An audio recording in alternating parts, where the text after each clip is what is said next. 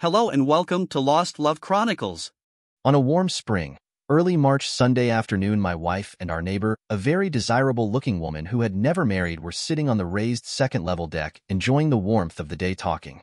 I have to be honest, I have found myself looking at our neighbor in a non-proper manner more than once and have had to hide my saluting Johnny.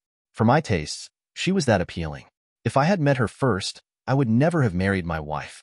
But like all honorable doofuses, I had made my bed and I would lie in it. I was directly underneath them quietly working on something that now seems unimportant. Neither of the ladies knew that I was there because I had needed to get a few things done. It was the serious conversation they were having above me that caught my total attention. Dinah and Bridget, both having turned 28 in the last few months, were in a heated discussion about what they were looking forward to in life. Bridget was frustrated because none of the men she had dated were really marriage material in her eyes. She was husband hunting because her biological clock in her mind was ticking down and she wanted a couple of children towing behind her as soon as possible. It didn't help that her mother felt she should have been married to a good man years ago and was beginning to think that she was too picky.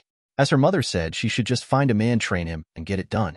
My wife Dinah, on the other hand, had always been a strong, independent woman who listened to no one said, after we got married, I told my husband Trey that the doctors said I couldn't conceive so when I was in the hospital a few years back getting my appendix removed.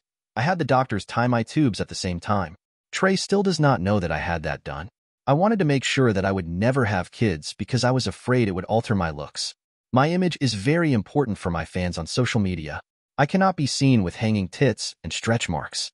It took a while, but Trey is finally beginning to accept it. Bridget said, Dinah, that's the dirtiest thing I have ever heard of. Trey would make a great dad. He loves kids. You both talked about having kids. What gives you the right to deny him in that way? Why would you do that?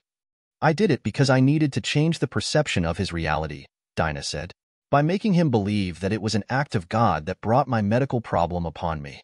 So, you used his belief in your honesty to deliberately deceive him, Bridget said, just to take away for good what he hoped and planned for. If we had children, it would take away from me what belongs to me, his undivided attention, Dinah said. In the trips we take twice a year to award ourselves. Children would have robbed me of the lifestyle we had created for ourselves, so I wasn't going to allow that to ever happen. I'll be right back, I'm going to refill our glasses. As my wife walked back into the house, I stood there in silence as if I was saying to myself, did I just hear that? I walked out from beneath the deck and headed towards my car. I had to get out of there. Now I wanted to be as far away from my wife as possible. If I didn't the anger, I was feeling would build into a rage that I might not be able to control. What I had just heard had made me sick to my stomach, not only because of what she said, but what it implied. I was oblivious to what was around me as I was in total shock. Bridget saw me and knew that I had just overheard their conversation. I would learn much later that Bridget was attracted to me just as much as I was to her. Out of our mutual respect for Dinah, neither one of us had acted upon it. She decided at that moment that I was the perfect man for her to procreate with because she saw me as being great father material. She decided that if I started thinking about divorcing my wife Dinah, because of her lies, she would find a way to move in to be my partner in the walk of life. Dinah and Bridget grew up in different environments. Dinah's father was born with a silver spoon in his mouth and spoiled his daughter with everything. She expected the best and demanded it. Her first full-time job was in upper management in one of his businesses, so money to her was just a convenience to make things easier. She expected the best that money could buy regardless of price and was not satisfied with anything less. Dinah, a stunning woman with black curly hair and 34, 26, 34 body shape and was 5 foot 6. She was very critical if everything was not over the top all the time. Even our vacations were to the extreme. For her, it was two weeks of being pampered too, as if she was the Queen of England. For me, they were a waste of money and nothing but a bore. They were something I neither wanted nor enjoyed. Every piece of clothing or jewelry was picked by Dinah to enhance her image as a trendsetter and a leader in the social media community. She had successfully turned her Instagram and Twitter account into a money-making adventure. Since she started on that course, she went into it with the determination that was extreme. Everything was planned to get her further attention via the social pages and the mass media. Everything she did these days was to enhance its revenue potential. Every month she had a new hairstyle and a new image. In fashion, she was more popular locally than the president's wife. She was being followed so much that if she decided she liked something and bought it within weeks for many it was a must-have item. Over the last three years, her following had grown to just over a million. She was working with two to three sponsors, and was making good money by being nothing but a social butterfly. It was her ultimate goal was to land a big sponsor in which there was the possibility to make millions. She loved being the center of attention and milked it to her advantage. Every image of her was designed to influence her marketability and to draw more followers into the illusion she was creating about herself thus adding to its revenue-generating stream. On occasion, she would type something on Twitter just to be able to create a situation or an idea that would give her additional wanted attention. Being out and about in the city during social events was important to her. The more people in her entourage, the better the visibility in the gossip pages, which in turn was tweeted about and Insta Reels were shot and posted. If it was happening in the city of New York, she had to be part of it. That meant she was out most nights until the wee hours of the morning. As a result, I quite often was left behind and that suited me fine. I did not need the limelight or brainless idiots following me to define who and what I am. Besides the daytime job, I had required that I had to be sharp and on my game. If I didn't, I would last long in the cutthroat business I was in. Bridget's father was a working stiff who slowly worked his way up the ladder the hard way. He had to work hard and long for everything he got. He had passed his values on to all of his children and took nothing for granted.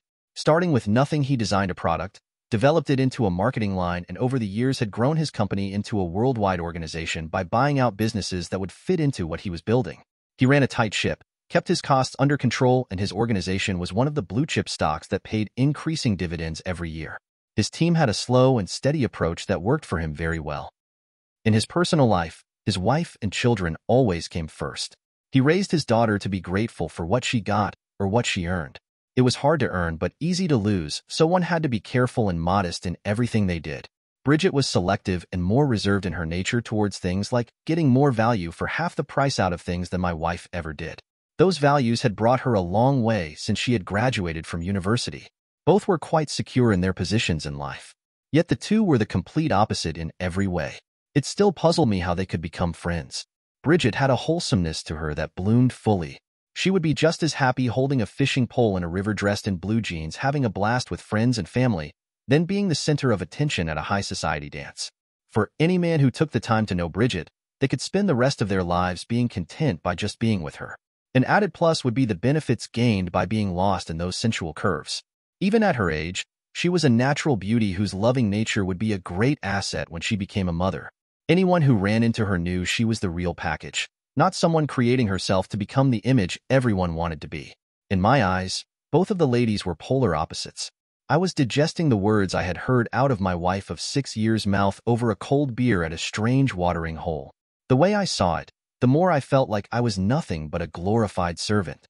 I was expected to perform a role Dinah had designed for me, and as long as I did, she would be happy.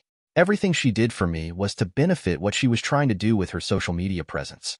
Seeing what our relationship had evolved into forced me to ask myself what she had seen in me in the first place. The longer I thought about it, the more I understood how little love there was left in our marriage. I was now just one of the many toys she had to make her online image and lifestyle better.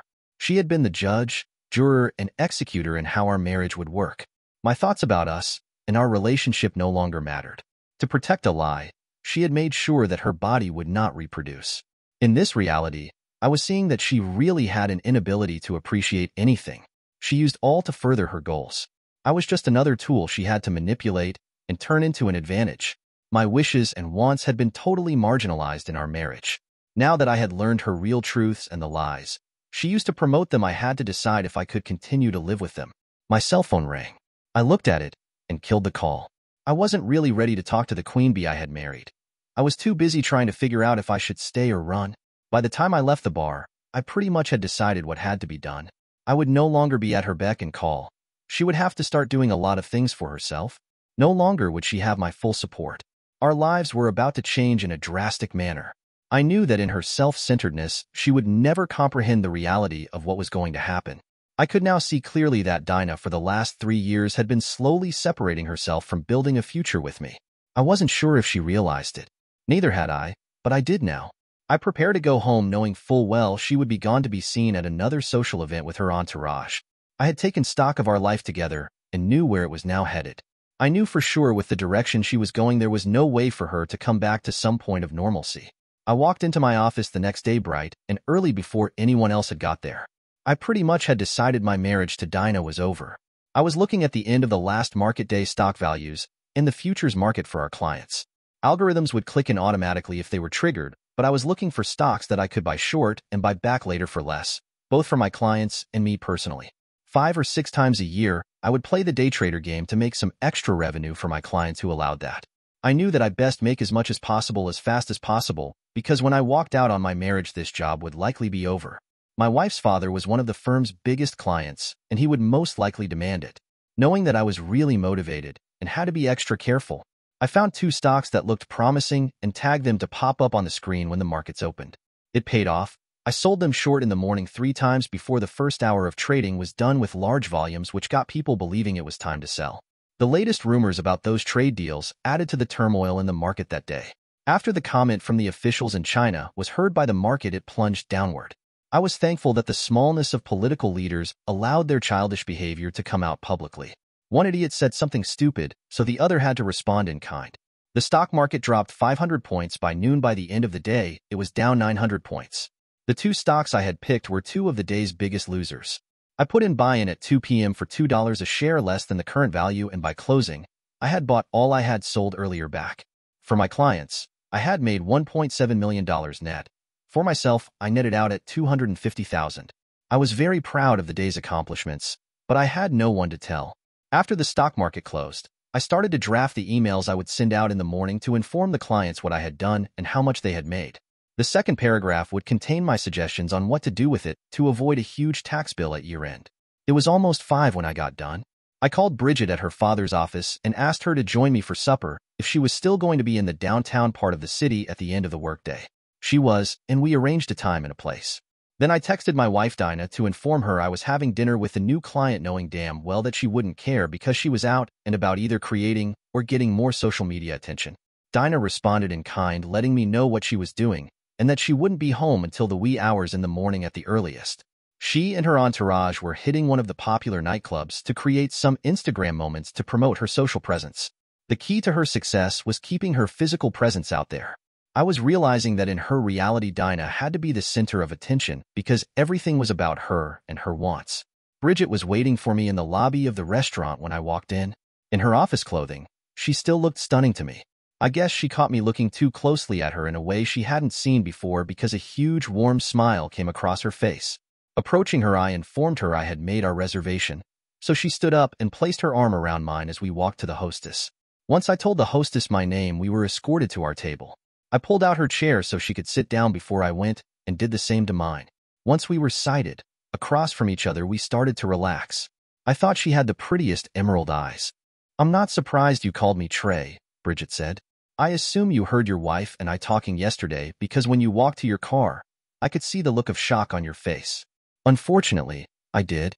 It was an eye-opening event for me that has forever changed everything, I said. There is no way that Genie can be put back in the bottle because if I had known the truth in the first place, we would not have gotten married.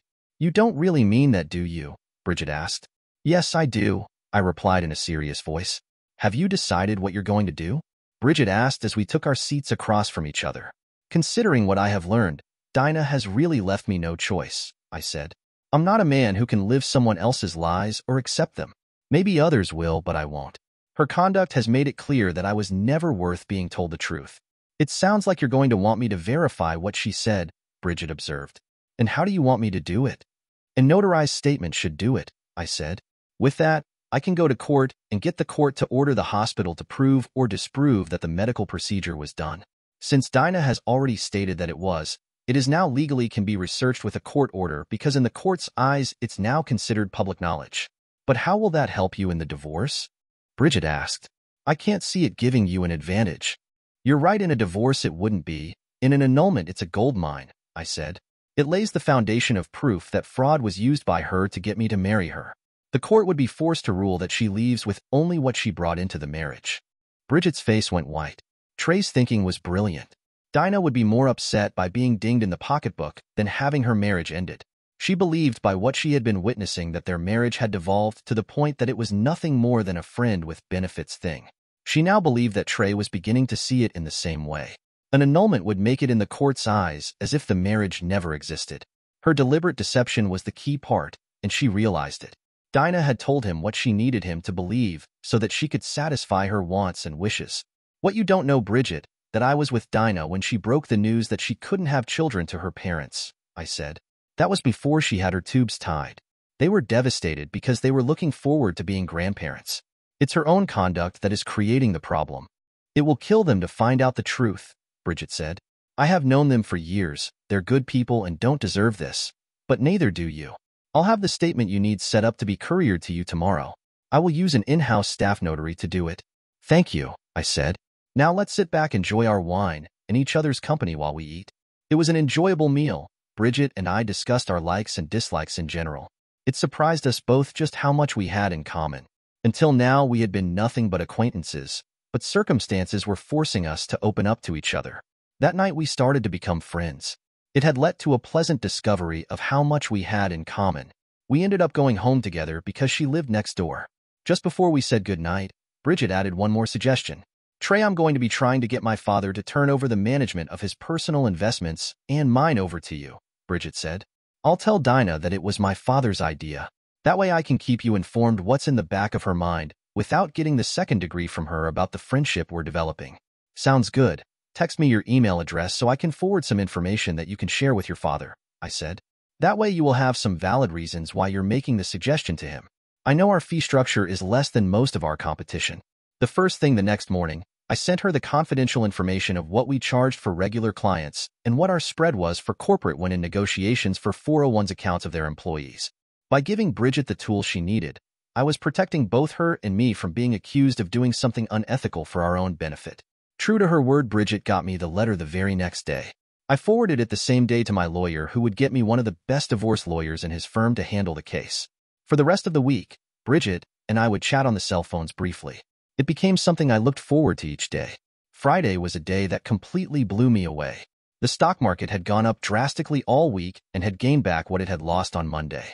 So, I sold some of the shares I had bought from Monday's profit for myself and my clients for a nice profit while leaving the original dollar value of investments intact. My clients were super happy with the results. It was at 11 a.m. on Friday when I got called to report to the president's office. Since he was a busy man to be called to his office unexpectedly meant that either you were being promoted or escorted out the door. His executive assistant looked at me and smiled, saying, Don't worry. Go right in, he's expecting you, Mr. Richards. That made me more worried because his receptionist had never called me Mr. since the first day I had started. The president stood up as soon as I entered and offered me his hand, saying, Well done, Trey Richards. Getting the president of Datastore Control Corporation to consider coming to our firm with his employee retirement funds for us to manage is a great achievement. The size of that account alone just about doubled our overall volume of what we manage. The vice president in charge of that division is working out the final details right now. He's a tough negotiator according to David, but is fair. He added, showing him how we could save the employees thousands in service fees was tactfully done by you. Well, done young man. We could use a few more like you. When are they coming over? I asked. We take over the management the 1st of April, he said. I understand you will be handling Clarence Smith's personal account as well as his daughter Bridget. Well, I can't take all the credit, sir, I said. If it wasn't for the team, I would not have been able to swing it. He smiled and said, I think there is more to this story than you're going to tell me. Very few get into Clarence Smith's circle.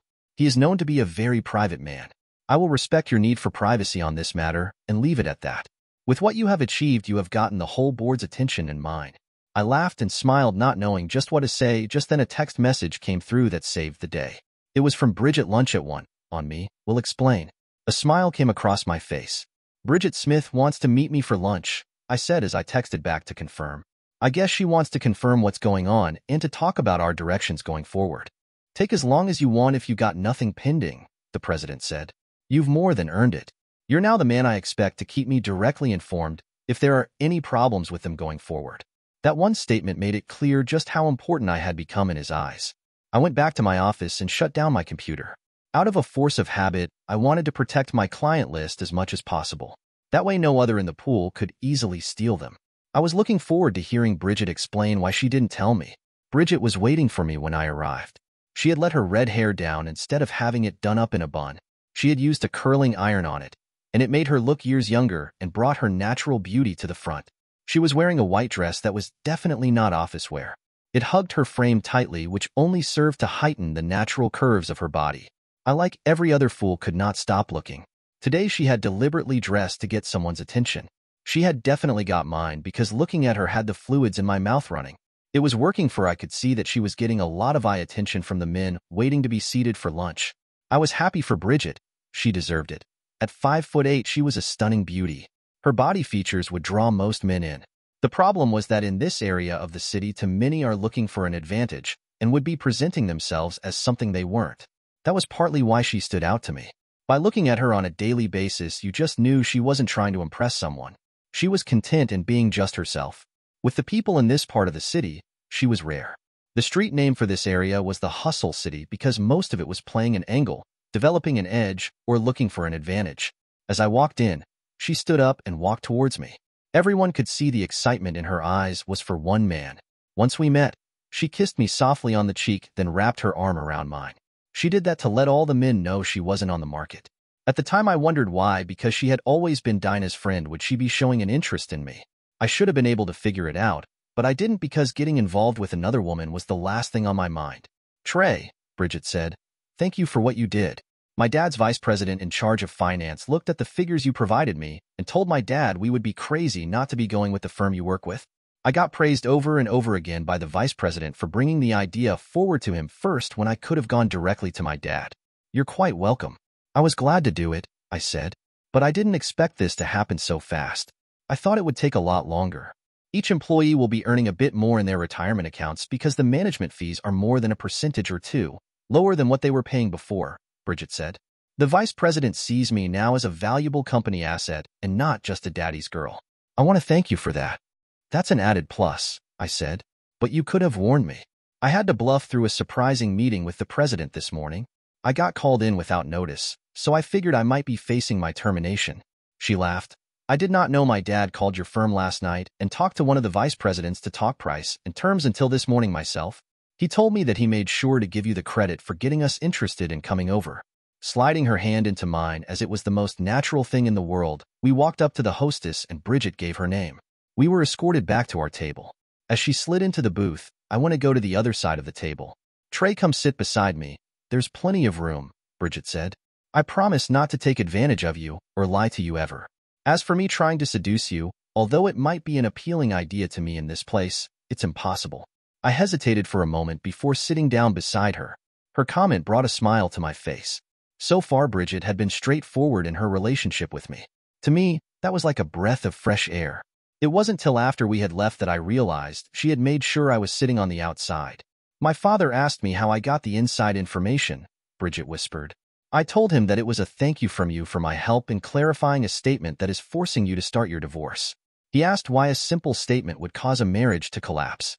I told him that before I revealed that I should talk to you to get your approval because what we shared was confidential. That really perked his interest for some reason. It was he who suggested this luncheon. So that is why I got invited to lunch today, I said with a smile. If you trust him to keep it to himself, go ahead and explain. Partly, Bridget said.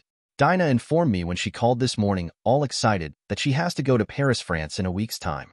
She has an international luxury company wanting her to become their spokesperson in North America. This is the big sponsor she has been looking for, and they have come to her. She is going to be demanding that you change your schedule and go with her. Ah, I see, I said. It's going to be a shock to her when I say no. Her going may be a blessing because it will give me time to start finding an apartment to rent. My lawyer has already served the hospital demanding the proof that the operation took place and is in contact with the health insurance company for their records. The surgeon who did the work is being sued in order to get it confirmed that there was no real medical reason to have it done. I think he will quickly comply because otherwise, it's going to end up costing him a lot of money in court and legal fees. You're that sure that your marriage is over? Bridget asked seriously. Bridget, this may sound like I'm preaching, but in today's society with all the mistruths being spread around, it's become acceptable to lie, not take responsibility, blame someone else, and a whole lot of things that are not moral or right, but now are considered socially acceptable, I said.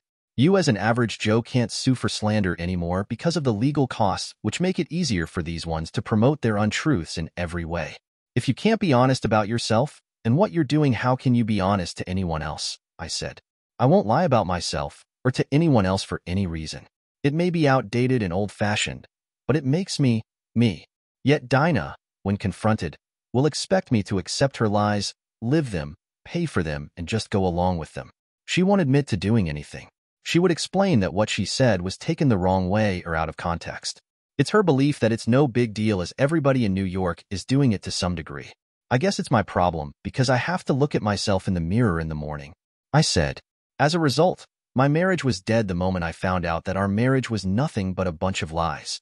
Hearing from her own mouth what she did to herself, for herself killed any of the love I had left. It puzzled me to see that what I had said had put a huge smile on Bridget's face. To a lot of people in this room, your words make you a bigot or a hater, Bridget said. I agree with you fully, but most won't.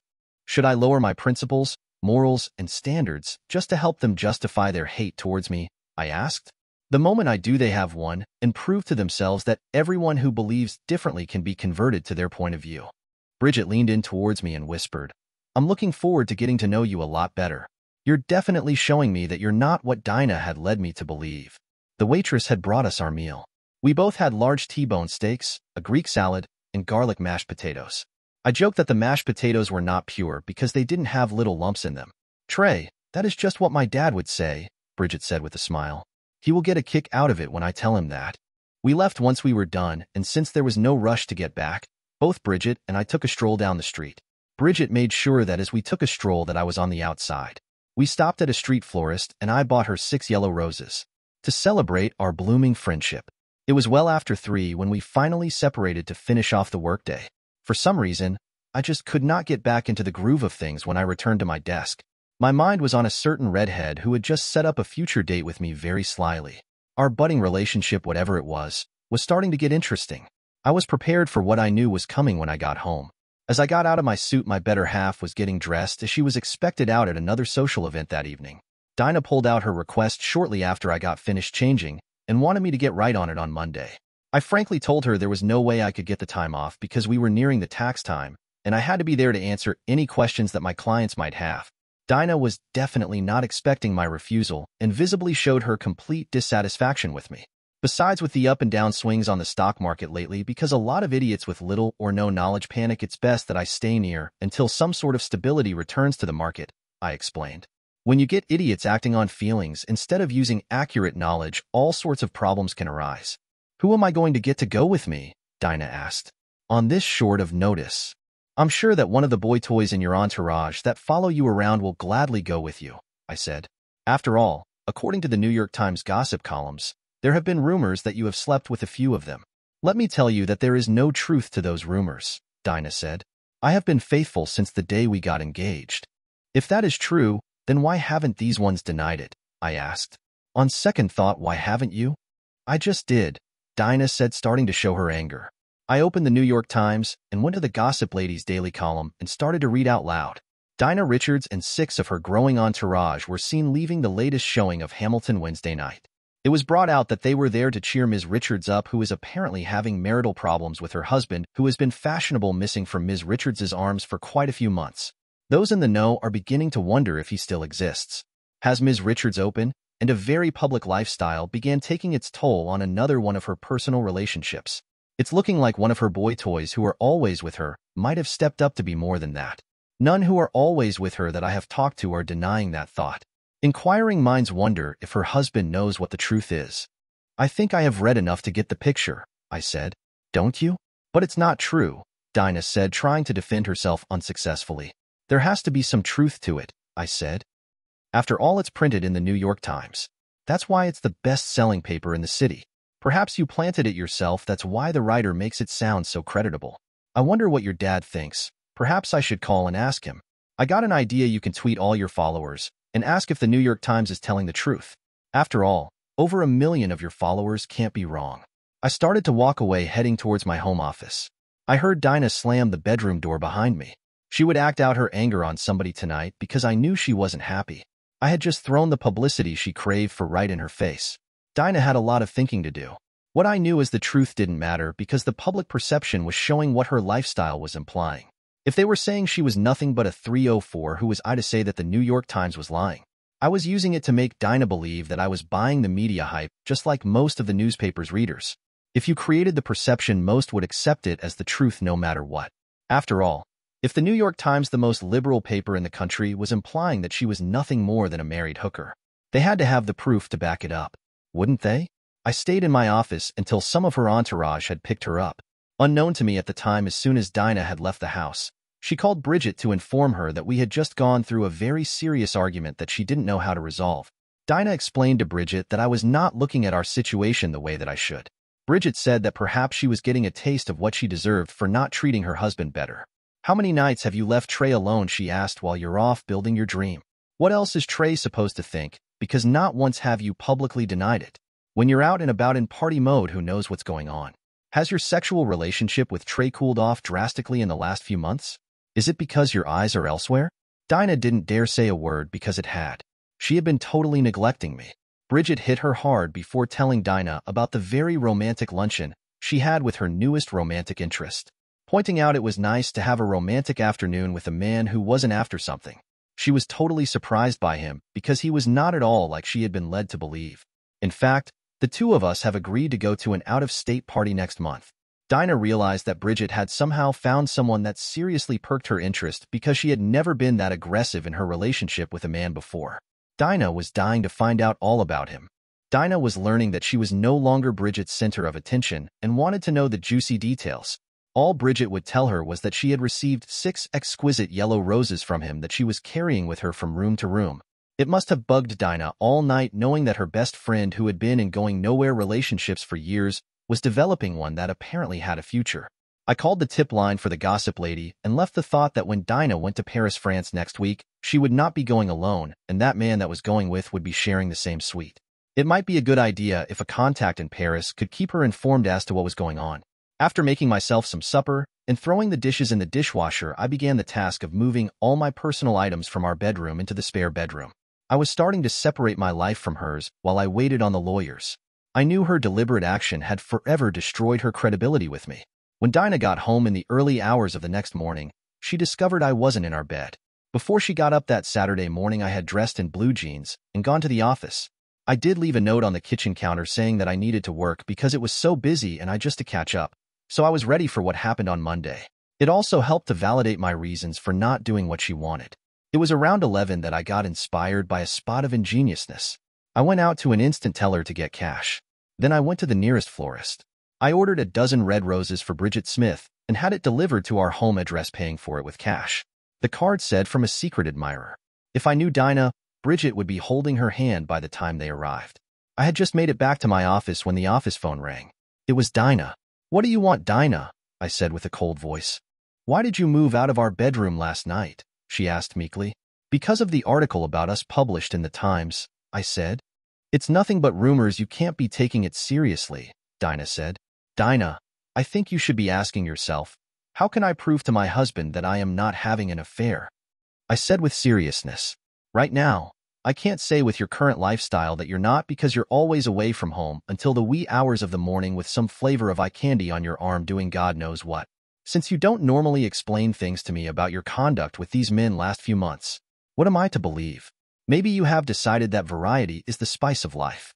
What's written in the New York Times forces me to believe that you are. Besides, why would the New York Times write about it if you weren't? I hung up the phone without saying another word knowing that Dinah, who had to be in complete control, would be starting to panic. Her own plan to use gossip, publicity, and rumors to advance her social presence and following were blowing up in her face. I had made it clear to her that I had accepted the public's perception and believed something was going on that shouldn't be. I had tactfully said it all without calling her a hooker. Here she was on the verge of landing a huge sponsor and having her marriage starting to blow up in her face. She could not afford it at this time to have the public perception of her affected in any way. It could end up costing her millions if it did. She was now treading in a minefield created by herself, and she knew it. If my gut was telling me right Dinah would be calling Bridget to come over and help her work, her situation out. I had never questioned Dinah's conduct before. Now I was, and she had no way of disproving what I was implying. Her problem was she had no clue as to why I was really acting like I was. I had gone through the closing figures on the stock market for Friday and had been researching out a few stocks that I thought might be having a really good day on Monday.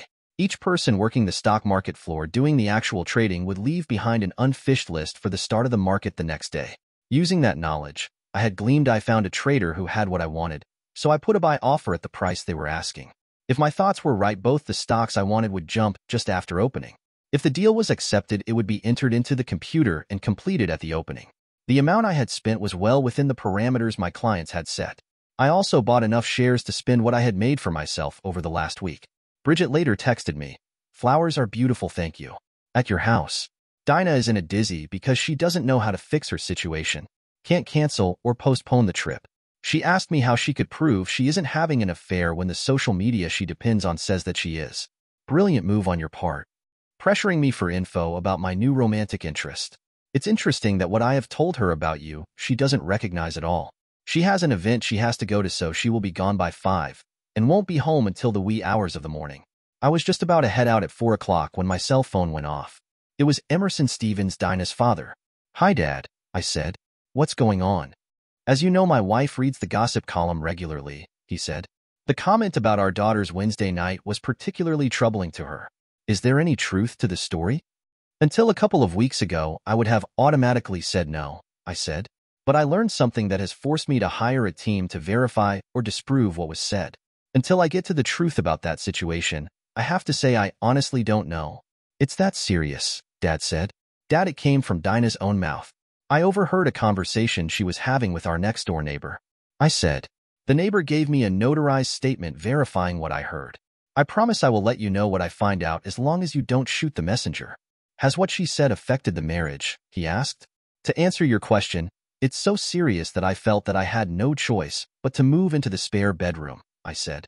Dinah doesn't know that I know what she said, and I am checking things out to verify or disprove what she may have had done. You can't tell me any more, my father-in-law asked. I can email you a copy of the statement, but you can't tell your wife, I said. When you go through the statement, you will understand why. I quickly emailed him, Bridget Smith's statement. It wasn't five minutes until he called me back. His anger was easily discerned by the foul language coming out of his mouth. Dad, you got to understand, Dinah had the operation to tie her tubes after she told us the doctors had informed her she couldn't get pregnant, I said. It has raised a lot of questions in my mind. My lawyers and I are waiting for a few court orders so that we can find out what the actual truth is. So, if she couldn't get pregnant anyway, why did she get her tubes tied? He asked. To protect herself and make sure the lie she had told us became true, I said. The line went dead. So, I turned the speaker on and waited for a few in case it had not been a dropped call. Trey, I lost it. If what you believe is proven to be true, divorce her. I would, he said. I know you wanted a family with children just as much as her mother and I were looking forward to having grandchildren to spoil. Well, she's leaving for Paris next week and I won't be going, I said. She's found a luxury company that wants to use her as a spokesperson for their products. If she signs it, she won't need me for anything anymore. I'm beginning to believe that she is trying to destroy our marriage because my usefulness to her is done. For Emerson Stevens, the information he had just received had to be tearing him apart. Dinah's words and conduct were forming a path that most would follow because it came across as logical. She was leading them down a path with a pattern of behavior that forced one to draw certain types of conclusions. Once again, I started to pack up and head for home. I was pleased with how the day went. I had just reset the alarm and locked the door when my cell phone went off. It was Bridget. How long is it going to take you to get home? She asked. I'll be there by seven. Why? I asked. What's going on? I'm at your house ready to put a large roast chicken in the oven, so I need to time it. So the meal is ready when you come into the house, Bridget said. If you have the time, pick up a nice white wine. I think the Uber driver must have broken a few speed laws on the way home because I could not remember the last time. I had a home-cooked meal. Home cooking didn't exist in Dinah's eyes. There is nothing like the smell of food cooking in the oven to welcome you home. I had picked a nice couple of bottles of white wine to complement the meal. Bridget had gone over top the roast chicken was cooked to perfection. Its skin was brown and crisp. Yes, the mashed potatoes had lumps I noticed them and said so, but they were still rich, thick, fluffy, and perfect. The salad was served with its own vinaigrette, so you could pour on enough to satisfy your own tastes. I gladly overate because the food was so good. For some reason, Bridget seemed to enjoy watching me eating everything until there was nothing left on the bone. How were you able to pull all of this off? I asked. I got Dinah to convince me that my talking to you in private might help calm the situation down. She offered to order and pay for the food. Bridget explained. I suggested this, and she went for it saying it was the perfect thing to get Trey to unwind and relax. Perhaps it will allow you to change his thinking so that he will be open to listening to my reasoning. I shook my head trying to adjust to the fact that Dinah didn't even question the idea that Bridget and I would be alone over dinner in a very private setting. I told Dad what was going on with Dinah and you, Bridge said. He now understands why the statement I provided you is so important. My dad wants to meet you as soon as possible. I think he wants to see for himself if you're the type of man he thinks you are. We can do that as soon as Dinah finds out that your father and you are my clients, I said. Dinah's father called me just before you did. His wife had seen the remarks in the gossip article, and he needed clarification so he could reassure his wife that they were not true. I ended up sending him a copy of your statement. How did he take it? Bridget asked. About as good as I did, I said. I had to tell him that he would be the first to know what the proof showed when I got it. He now knows I have moved into the second bedroom. His final thought is if what she said can be proved that I'd better get the divorce as soon as possible. Bridget took my hand, smiled, and whispered, I will be standing right beside you to help you through it. Dinah spent more time today trying to find out who my admirer is than dealing with you in her situation. It shows us what is really important to her. That says a lot in itself, I said. I'm just upset with the fact that I didn't see it before now. After dinner, we cleaned up and then went into the living room to watch pay-per-view movies. We were interested in three and ended up watching them all while working on finishing off the wine. All in all, it had been a long time since I had enjoyed such a relaxing evening. It felt strange to me to have a woman sitting very close beside me eager and sharing something so simple. It was after 1 a.m. when we called it a night. I walked her home and waited until she had gone in before leaving. Once again, she left me with a tender kiss on my cheek. I was puzzled because I still was not connecting the dots. I laid on the bed in the spare bedroom looking back at what had transpired over the last week since I had heard Bridget and Dinah's conversation. Things were changing. Bridget was checking up on me daily while Dinah and I were not talking. I knew that Dinah was trying to figure out how to manage the situation without really dealing with it until she got back. Bridget was deliberately trying to draw herself into my life in a personal way, and I did not know why. Bridget was a redhead whose natural beauty I could look at for hours. So far, she had proven that I could trust her, but I was looking at her with skepticism because of her close relationship with Dinah. I knew for now with both I had to tread carefully. Until I had more information, I really did not know what to believe. Dinah got home about 3 and had to be back out by 9. Her day would be spent buying the image she wanted for Paris. It had to be very upper class and expensive. All her entourage would be following her, taking pictures, posting them, magnifying the situation making it seem bigger than it was. It was the hype she wanted for the trip, there would be a lot of sexual flirtation going on which her followers would feed on. She wanted them to be sure to follow her while she was overseas. I managed to avoid her until she left the house by pretending to be still asleep. For men who were part of her entourage had picked her up. Most of them were part of the upper society's children. I had just started a pot of coffee when my cell phone rang. It was Bridget. How does bacon, eggs, toast, homemade pan-fried potatoes, and orange juice sound? She asked. It sounds great, Let's go out and get some, I said. I can be ready in 10. Make it 15, she replied. The potatoes I just boiled need to cool down before I can cut and fry them in butter with the cast iron frying pan. That gave me time to have a quick shower and shave. So, I did it and got dressed in my casual best. As I walked over, I found myself feeling like a kid in a candy store for the first time. Two home-cooked meals in less than three days had me asking myself what I have done right to be blessed like this. I knocked on the door. Bridget answered by yelling doors unlocked come on in. My first impression of Bridget's home that it was a home built and designed to be filled with comfort and love, while Dinah's and mine were designed to impress the unexpected who dropped in. For some reason, after breakfast, I was in no hurry to go anywhere because I had not felt this comfortable in a long time. Little did I realize that seeds were being planted that would affect a lot of people's lives. It had been a busy week. On Monday, the stock market took off like I thought it would. I made good money for my clients and me. Once again, I had proved to myself that I had done my job and successfully done my homework. Every day this week, Bridget and I met for lunch to discuss what was going on in our day. Every night I took home little thank you gifts from clients who had a lot of extra money thanks to me. For Dinah and me when we were home together it was ice cold. I wouldn't give an inch until she could prove that she was not involved with someone else. Dinah said I was being a stubborn pig about our situation because she had done nothing wrong and felt she did not have to answer to anyone. I said we shall see about that. The New York Times gossip reporter had captured Dinah and the boy toy she got to go with her boarding the plane on Wednesday afternoon. He was now totally outed according to the paper as her latest romantic interest. It looked like the gossip reporter had taken the bait. She also now had part of Dinah's entourage public saying that Dinah and I had to be in an open marriage for a few years.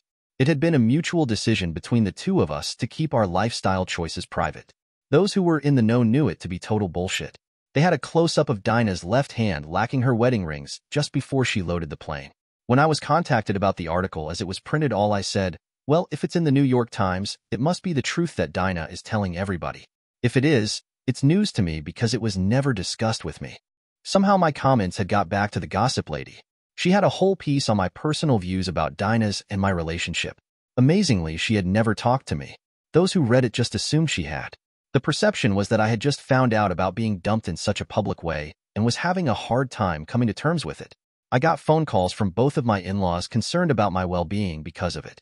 Emerson Stevens called me on Friday, trying to figure out what his daughter was doing. I replied, proving my feelings right. He threatened to lower the boom on his daughter right away. I got him calmed down and told him that until we get actual proof that can't be denied, the truth means nothing because perception meant everything. Besides, the truth means nothing except to a few.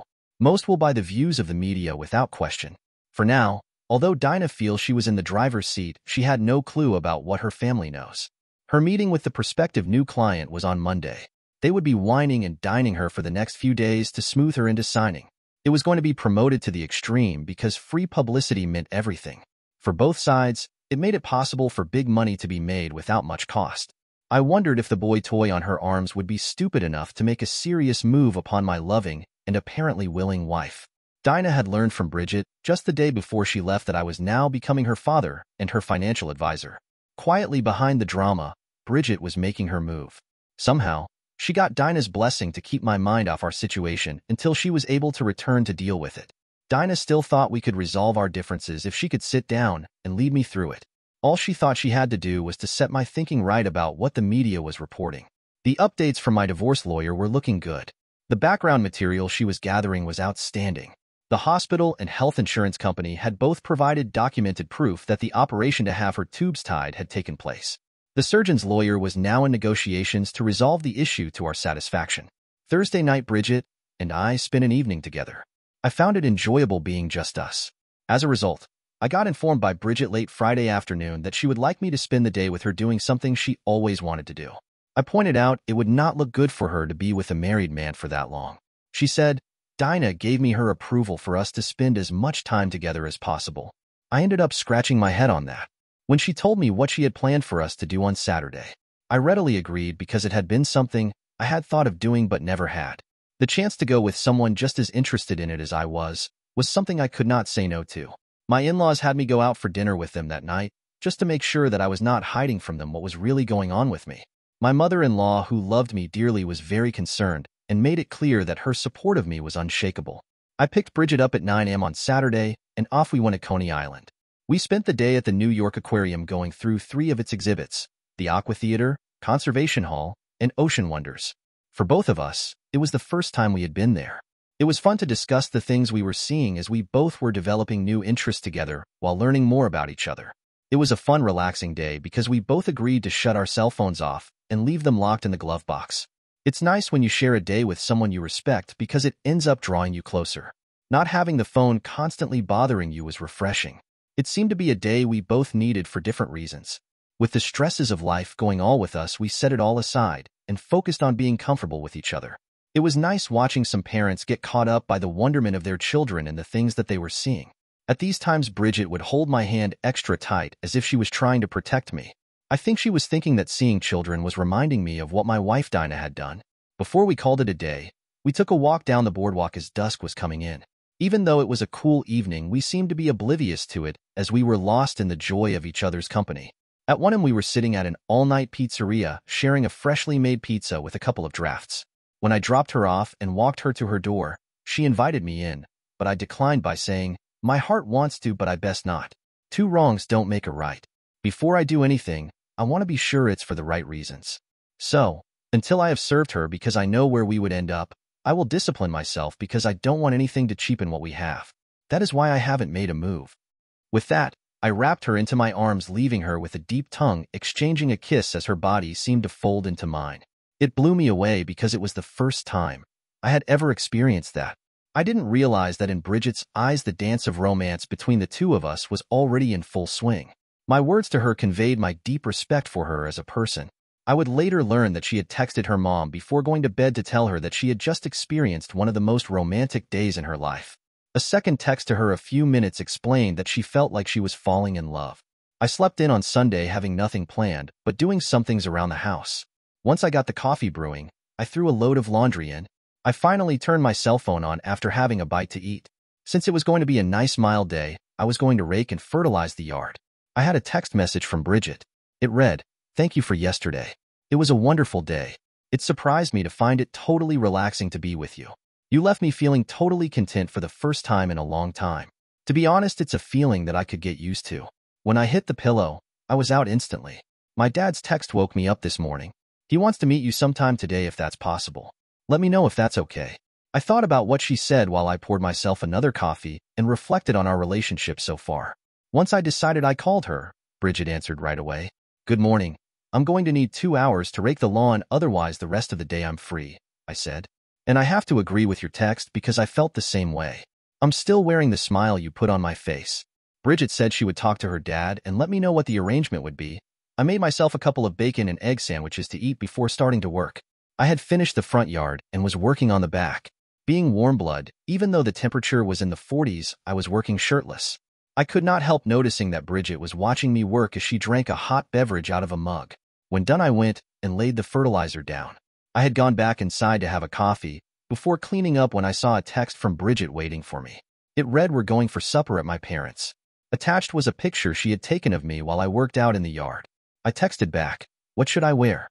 She replied, clothes would be appropriate. Mom might have a heart attack if you walked in half naked. I typed back, smart ass. She responded, giggling, blue jeans fine, not a working day. Pick me up at four. As soon as we were out of the neighborhood, Bridget slid over from her side of the front seat to be right beside me, saying, I could get used to this. I laughed. I would drive the car more if it didn't cost so much for bridge tolls and parking.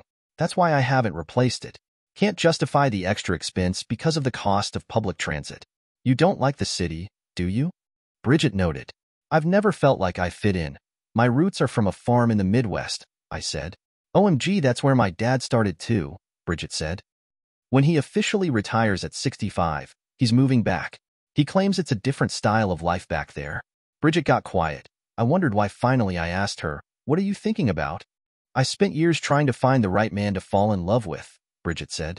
Being with you, talking with you has made me realize that the man I was looking for couldn't have grown up here on the East Coast. There's something about your inner soul that sets my dad and you apart from most who grow up locally. I found that making friends even with neighbors is getting harder in our society on the coast, I said. Look how long it took for us to get to know each other. Just going to and getting back from work each day takes four hours. Here to protect themselves most speak in half-truths and don't open up. My father used to frustrate his staff to no ends because he would not stay a minute longer than absolutely necessary, she replied. The rest could wait until tomorrow. His home life came first. Funny that you would say that.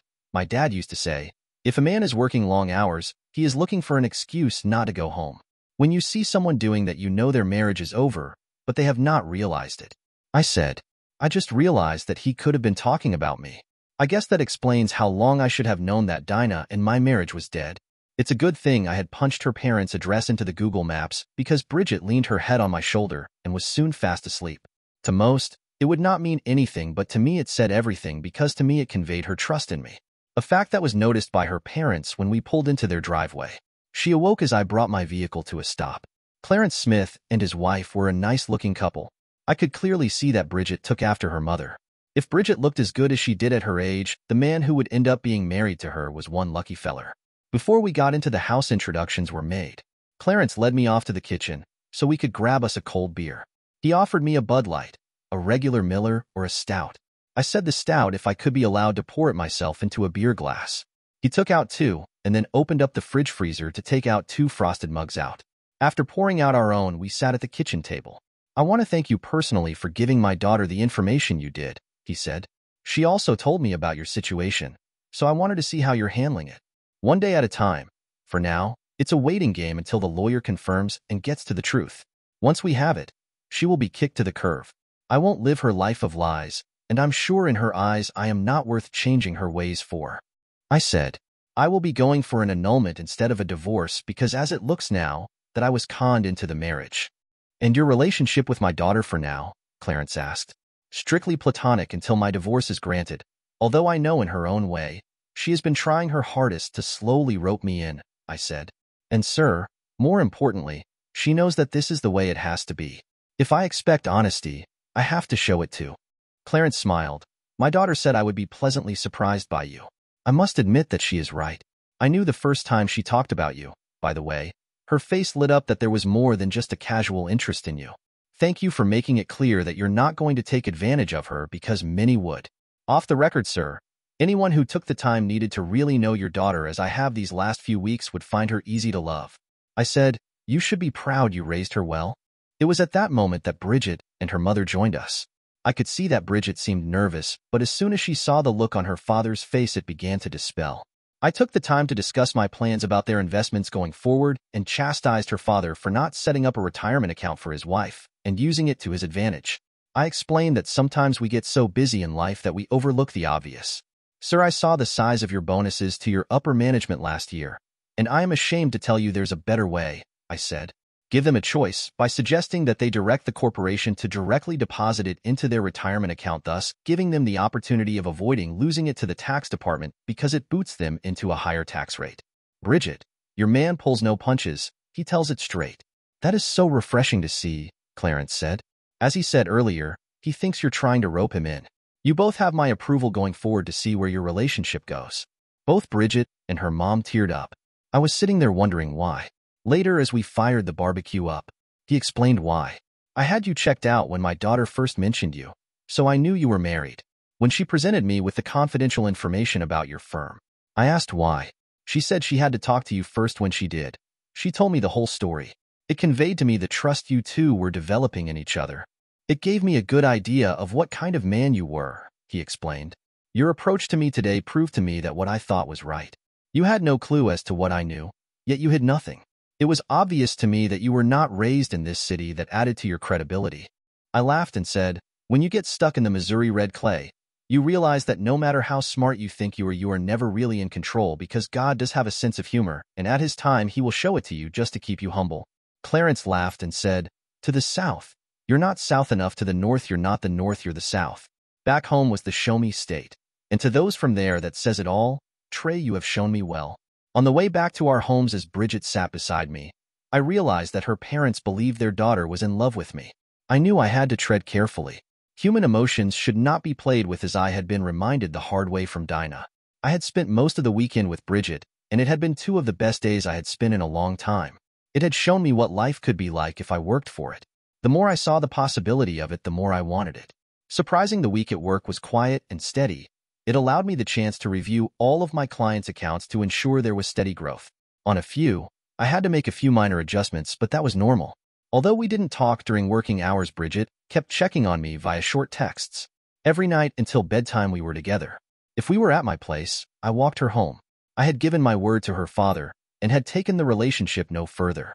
If Bridget would have had her way, we would have gone a lot farther. Dinah had signed the agreement after four days of negations. For the next five years, she would be making millions. The luxury company was the fourth that had come on board. Her tweets and self-promotion with her perception of things was and would remain a market-driving force for all concerned. Sad in building her marketing empire, she had built herself into a box that she could get out of. She was about to realize that all her scheming, manipulations, and misdirection to present a certain perception to the masses was the trap that going to end up hurting her the most because it was taking a life of its own. The Gossip Lady's contacts had not disappointed. Everything Dinah and her boy toy did had made the printed pages back here in the New York Times every day creating quite a few Twitter discussions causing more to follow her because everyone wanted to keep up on it. To some, this was like watching the soap operas on TV. It had been a week of them doing nothing but flaunting their relationship in a very public way. Although there might have not been any sexual activity between the two. Their contact, the physical touching, the soft, sensual kisses left on cheeks, the eye contact and gestures implied that theirs was a new love in full bloom. The mass media was presenting it here as a spring Paris romance story. The perception of the New York Times gossip pages was that Dinah Richards had thrown away her marriage, and even though they had separate suits, they were adjoined. The hotel maid, it had been rumored, had supposedly confirmed that only one bed was used by the two. Since it was published in the New York Times, it had to be true. After all, in the public's eyes, the New York Times never lies. As soon as she cleared customs that Friday morning Dinah Richards was served, it had been confirmed that there had been no need for Dinah to have medically had her tubes tied. Until that point, Dinah was completely functional and had been capable of carrying children full term. I had my lawyer courier Emerson Stevens a copy.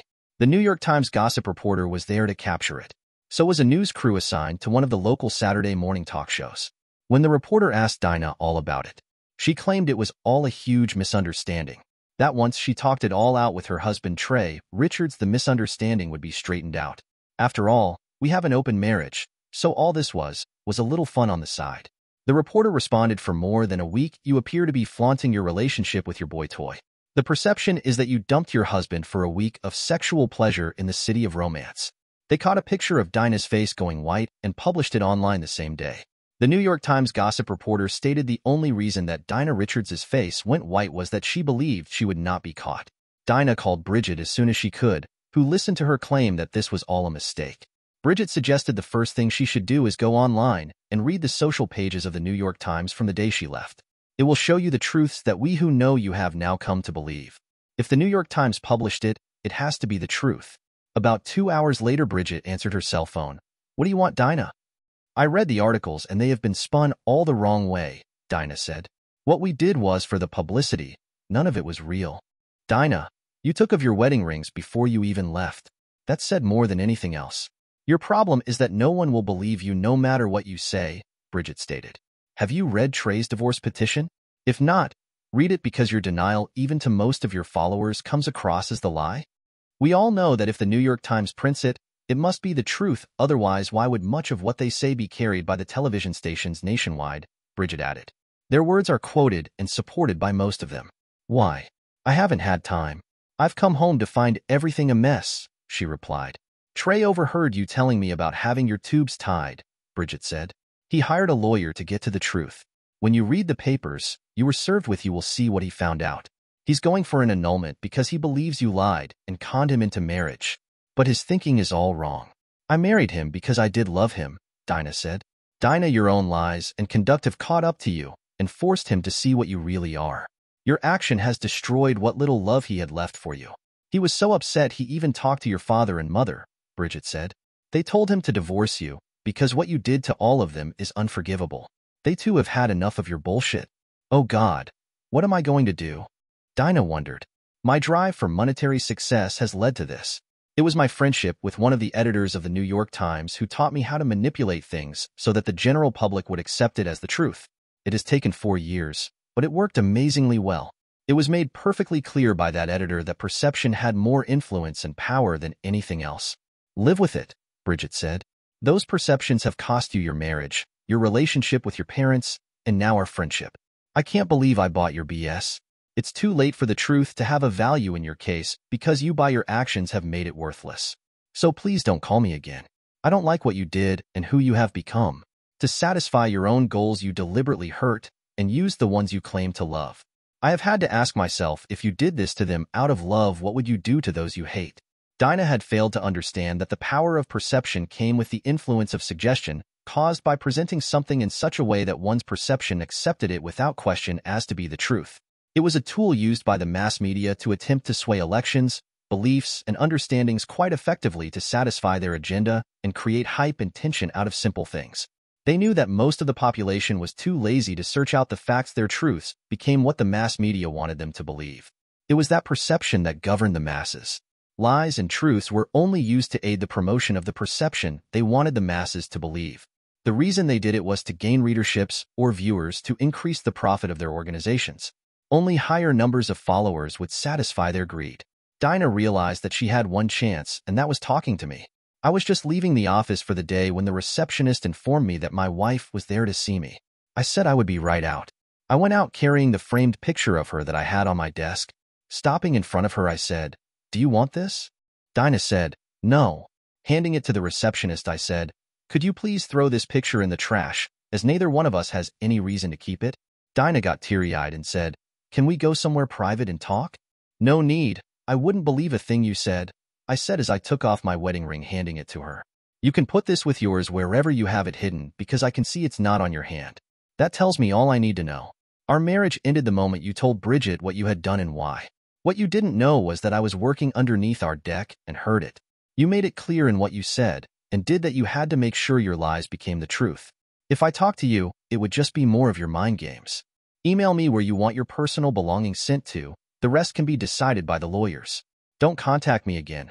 We're done because the New York Times and you have humiliated me enough.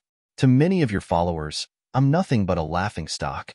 I said in a raised voice telling all via the New York Times that what you were doing was acceptable because we had an open marriage was just like you because it was over the top, like so much of your BS it had no basis of truth, I said. And like all you have done it had nothing to do with the facts. The New York Times made it quite clear that you were enjoying your romantic fling with your boy toy in Paris. I'm sure it will be accepted as a fact in divorce court. After all, if the New York Times reports it, it must be the truth. Without a further word, I went to the elevator and called for one to come. The receptionist couldn't believe what she was seeing. She had never seen me act this cold to anyone. I could hear Dinah sobbing as I walked away. As I waited, I heard the office receptionist say, Ms. Richards, you're no longer recognized as being acceptable in this office. Please leave and never return. The next time I see you here, I will call building security and have you escorted out. I won't allow a woman like you to smell up this place. Trey Richards is the most respected person in this office and a friend to us all. None of us find it humorous that you used the New York Times to end your marriage. He did not deserve being dumped by you in such a pubic way. Dinah was shocked. She hadn't dumped her husband as far as she was concerned, but the office receptionist believed she did. As I rode down the elevator, I removed her from my contacts on my cell phone. By the time I had got to the bottom, she had called. Before evening answering her, I had blocked her calls. I went into settings and shut the GPS off because I knew that with it turned on my phone would be easy to track. All it would take was someone with a bit of intelligence with the right kind of app. I was headed to the subway which would take me to the nearest exit so I could catch the bus home when Bridget called. Dinner at 7 my house. I'm already home. I took the afternoon off after I heard the great news directly from Dinah that she'd been served. You could have told me, she said. Pick up some red wine as I got a roast of beef already in the oven. Sounds good, I said with excitement. I will take a taxi after I get the wine, so I should be early. It was about half an hour walk to my favorite beverage store. I bought two bottles of a better quality of the red wine, a bottle of Crown Royal, and a two-liter bottle of Coke before flagging down a taxi. I was about 10 minutes from home when Bridget texted me. Garage open run from the taxi in. Dinah and her entourage are at your home waiting for you. The situation does not look good. Taxis in New York are famous for dropping you at the curb. It took an extra 20 for him to agree to pull into the driveway. As soon as I ran in, she began shutting down the bay door. We were both hoping I wasn't seen because we both understood the queen bee was now a drama queen who had lost control. We both assumed that in Dinah's state of mind, and with her view of how marriage was supposed to be anything was possible. Make yourself at home, Bridget said, then pour us some of the wine. I'm going to change quickly in case what was going on was noticed. I did as Bridget asked. I undid the suit jacket and vest taking them off along with my tie. Undid three buttons on my shirt. Before getting the wine glasses out, I rolled up my sleeves. Let me tell you that there are times that you wish you were elsewhere. This was not one of them because right in front of me I knew I was seeing the kind of life I wanted. When Bridget returned, she took my breath away. She had let her red hair down, removed her makeup, and changed into sensual evening wear. The sheer full-length black nightgown was designed as if it were a fine screen allowing one a glimpse of her sweet flesh. I could spend hours worshipping her body, my instant hard-on told us both I was caught in a losing battle. Bridget's bright eyes showed me that she was pleased with my automatic response. We had just kissed and were sharing the first taste of the medium wine I had bought when there was a knock at the door. I moved from the view of the front door as Bridget went to answer it. Hi, Dinah. What do you want? Bridget said. As you can see, I am kind of busy. My boyfriend is here and is staying the night. It was noticed that a taxi dropped someone off at your house, Dinah said. Since Trey has not shown up, I instantly thought it might be him. So, you got one of your entourage watching my place. Why am I not surprised? When you talk to Trey do me a favor, let him know that thanks to him my new relationship is working out great. Bridget requested. Even my parents have given us their blessing because they think he may be my perfect mate. My mom is already dreaming about babysitting the grandchildren. Is he someone we both know? Dinah asked. Based on what I now know about the man I'm falling in love with, I would have to say definitely not. Bridget responded with truth as she closed the door in her face. She walked towards me trying to hold in her giggles. I held up my left hand to see if she would notice. She did. When did that happen? she asked. I told her what had transpired in the office before she went back into the bedroom to change because she was still cooking our dinner. When she came out, she discovered me peeling the potatoes she had set out for supper. We're going to have to figure out how to get me clean clothing, I said. Thank God I wear a standard size. You just might be stuck here until Monday, Bridget said. I don't think Dinah will be going anywhere this weekend because she believes you have to come home sometime. I guess she didn't get the message when you threw your wedding band in her face. Let me call my dad's tailor and see what he can deliver for you on short notice. Bridget said. I reached into my pocket and took out my wallet, handing it to her. I said, have him deliver a size 42 jacket, 34-inch waist, 30-inch leg length, shirts 15 and a half neck, vest, and tie. Best add a second set, and a pair of silk pajamas if he has it. Blue jeans, t-shirts, and whatever else I have not mentioned. What about underwear and socks? Bridget asked. Of course, I replied. Have it applied to my credit card. I listened as she placed the order. It was surprising what color she decided I would look good in. They said they would pull the order as soon as possible and it would be delivered in a rush via a courier within two hours if we were willing to pay the fee. It was fun working together as a couple finishing what she had started. Bridget seemed surprised at how adept I was in the kitchen. I set the table as she transferred the food into bowls and serving plates for the table, gravy made from drippings, Yorkshire pudding, mashed potatoes with lumps, corn on the cob, and of course the beef roast. Joking, she said, as the head of the house, it's your job to slice the roast. So, I surprised her and did. I ate like a horse going back for seconds and thirds. I knew if she continued to feed me like this, I would end up rounder than Boss Hog. I told her so. Her response said it all because her face was glowing. After dinner as we cleaned up, she asked me if we had a small kitchenette at work. I told her yes. She said, well then, I can pack you lunch on Sunday night for you to take with you on Monday. Doing the dishes together took a long time because we were doing a lot of kissing. I was impressed my new clothes were delivered within two hours. Bridget signed for them.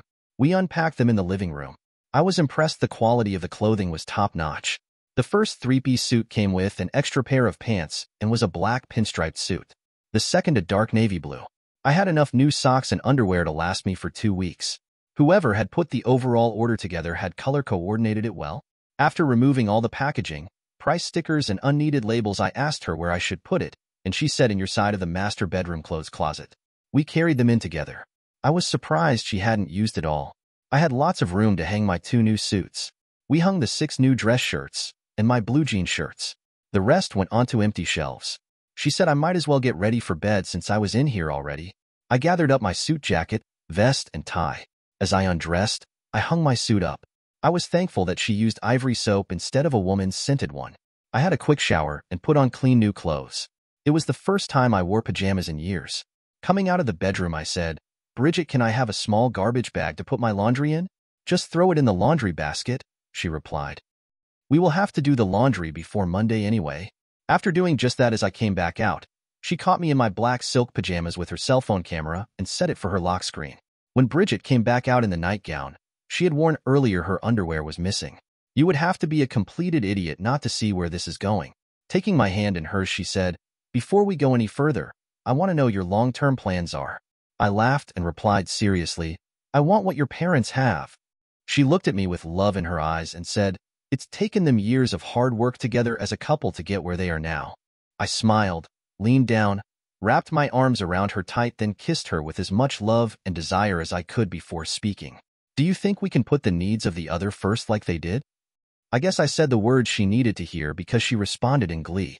I think that as a couple we are going to be having a lot of fun trying. Sometimes the most intimate thing you can do is just a little thing. For us, it was not hopping into bed, it was lying on the sofa cuddling each other, holding each other while sharing sweet, tender kisses. The discovery of being a couple falling in love for all the right reasons was enough. We were still on the sofa when the knocking at the door rudely woke us up. It was after 10 a.m. in the morning. Bridget got up and went to answer the front door thankful that the chain lock was still on. Opening the door, the inch or two the chain allowed, she discovered it was Dinah. What do you want, Dinah? Bridget said in anger. You woke my intended and I out of a sound sleep.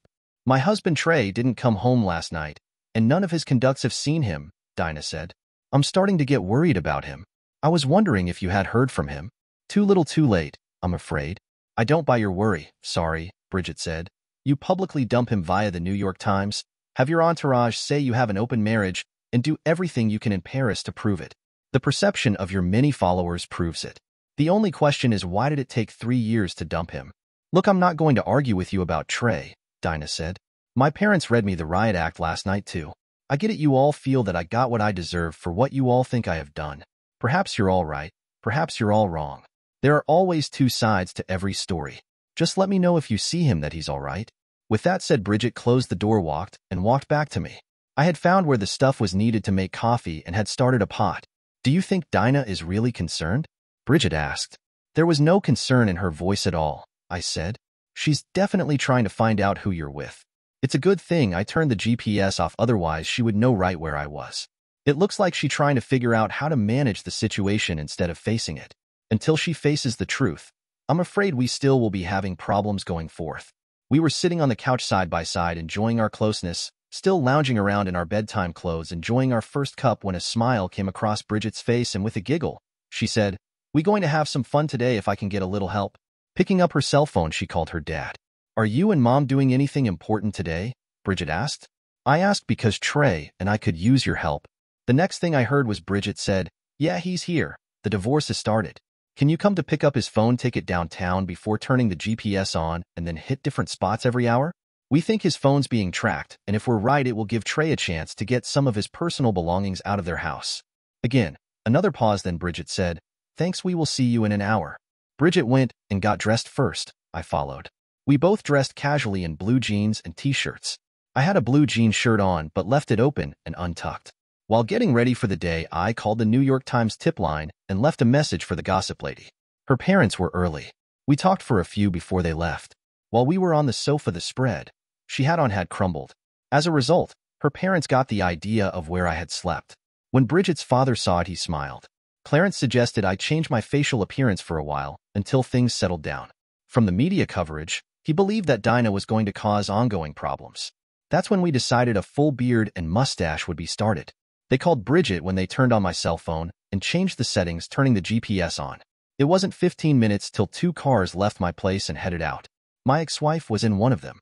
Just in case, I climbed over the backyard fence and entered my home from the rear. A quick look proved it was empty. Loading up my car with my belongings took about two hours. I left the items I knew that Dinah had bought for me behind along with all my socks and underwear. Outside of clothing, the only thing I did was reset the home computer to its original factory condition. In doing that, any connection to my office was permanently gone. I took one last look around the house as I took the house keys off of my keychain, placing them with the garage door opener on the kitchen counter. For me, it symbolized putting the past behind me, freeing me to move forward with my life. I opened the garage door and fired up the car drove next door and backed it into hers. I then closed the bay doors. We had to move a few things around in the master bedroom closet to fit my stuff in. The master bathroom had two sinks I took the side that was available. Some of the things I owned had to go especially after Bridget saw them on me. If it didn't compliment me, it wasn't good enough. That showed me a lot about our lives going forward. Bridget was the type who would always take pride in how her family looked. Her parents called Bridget at 6 and suggested we meet for dinner.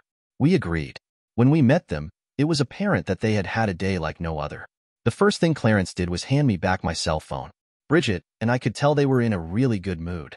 It was fun watching them walk into a place where we were, Heidi said, spreading themselves throughout the location looking for Trey. They must have wasted an hour at Macy's. Dinah was so well known publicly there were people taking pictures of her everywhere. People were shocked that a lady of her status would be caught in a place like that. They had all sorts of questions which only slowed down their progress. You could tell she was frustrated. Each stop they went to it got worse for them. Once they showed up, we turned the GPS off, Clarence said with a laugh. After the fourth time, we heard one of her entourage say, He's not as dumb as she has convinced herself to believe he's having us chase a ghost for some reason. That comment made both Bridget and I smile. Bridget's parents had been followed around all day. Each stop was further down the social ladder for Dinah and her entourage. It made me wonder if Dinah would clue into what was really happening. If she ever got to talk to me again, I knew that one of the excuses she would use was, I did it all for you.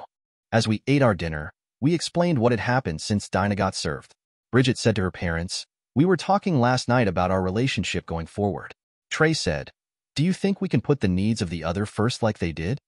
I said that they had been working at it for years. What you don't know, Mom and Dad, is that we were both talking about you. Clarence got a big smile on his face. His wife got teary-eyed. I got my clothing and personal items out and back to Bridget's house thanks to your help. Bridget said I had to try every piece on. I said, what your daughter thought didn't compliment me got put in a pile for Goodwill. We dropped them off on the way here. Get used to it, Trey, Clarence said. I've been married to her mother for 35 years, and my wife still does it. Dad, Bridget said. He responded, what we all know, it's the truth. Both her father and I started to laugh. I went to pay for the meal, and her father went to stop me. It ended up with both of us holding the ticket. So I said, let us. You have already done so much for us today, so give us a chance to show you our appreciation. Clarence, just listen to him, Heidi said. He wants to be your equal. You wanted to be treated the same way by my dad. Do you want to play the game of one-up-manship with him? Remember it took years for my dad and you to come to an understanding. Clarence smiled, and so did I. We both had to admit she was right. He said, that wisdom over the years has talked me through a lot of things. Each time she does it, it's done out of love and with a knowledge that sees things from both sides. Some of my greatest accomplishments have come because I listened to her. With that said, he took his hand off the ticket. Bridget whispered, Thanks, Dad. Bridget's mother's face glowed in a visible blush before she said, Don't worry about these two, they're going to make it. After all, he is like us made from the Missouri red clay. He will listen to reason like you always have and won't be corrupted into believing perception. Dinah Richards was exhausted. It had been a day of chasing a ghost around the city. Every time they located him, he was gone. She felt that after a few hours they would be able to sit down and talk about why he had got it all wrong. Perhaps there was a chance that she could have the operation reversed since it appeared to be the problem that had started all of this. Now all she wanted to do was go home and soak in the tub. Thankfully, the event she had to attend she could sit and allow others to come to her otherwise, she would not have made it through the early part of the evening. The posts of the event and what she had found interesting had been received well. Because of the long day, she had come home early it was when her entourage dropped her off that she realized they all had been played. The bay doors of the garage were open. Trey's pride and joy was gone. He had outmaneuvered them all. It was he that had them all looking like fools. Entering the house, she found the garage door opener and the house keys when she set down her purse. Walking into the spare bedroom, she saw that most of his clothing was gone. To Dinah, that was the moment she realized there was no hope. Trey had found a way to move on with his life. It was then that she realized that in the pursuit of her dream, she had slowly driven him out of her life. Dinah was sitting in the dark crying because in her own way she truly still loved Trey. In a big way, she began to realize it was who and what she associated that had pushed her directions, activities, and thoughts as she built her new persona. Dinah had never seen that in doing so she had lost sight of who and what she was. Bridget clicked the door garage door opener as I backed my car in. We had been so busy talking about the dinner we had shared with her parents that we forgot to check to see if anyone was home at my former residence. Sunday, we got up early and went out for the day.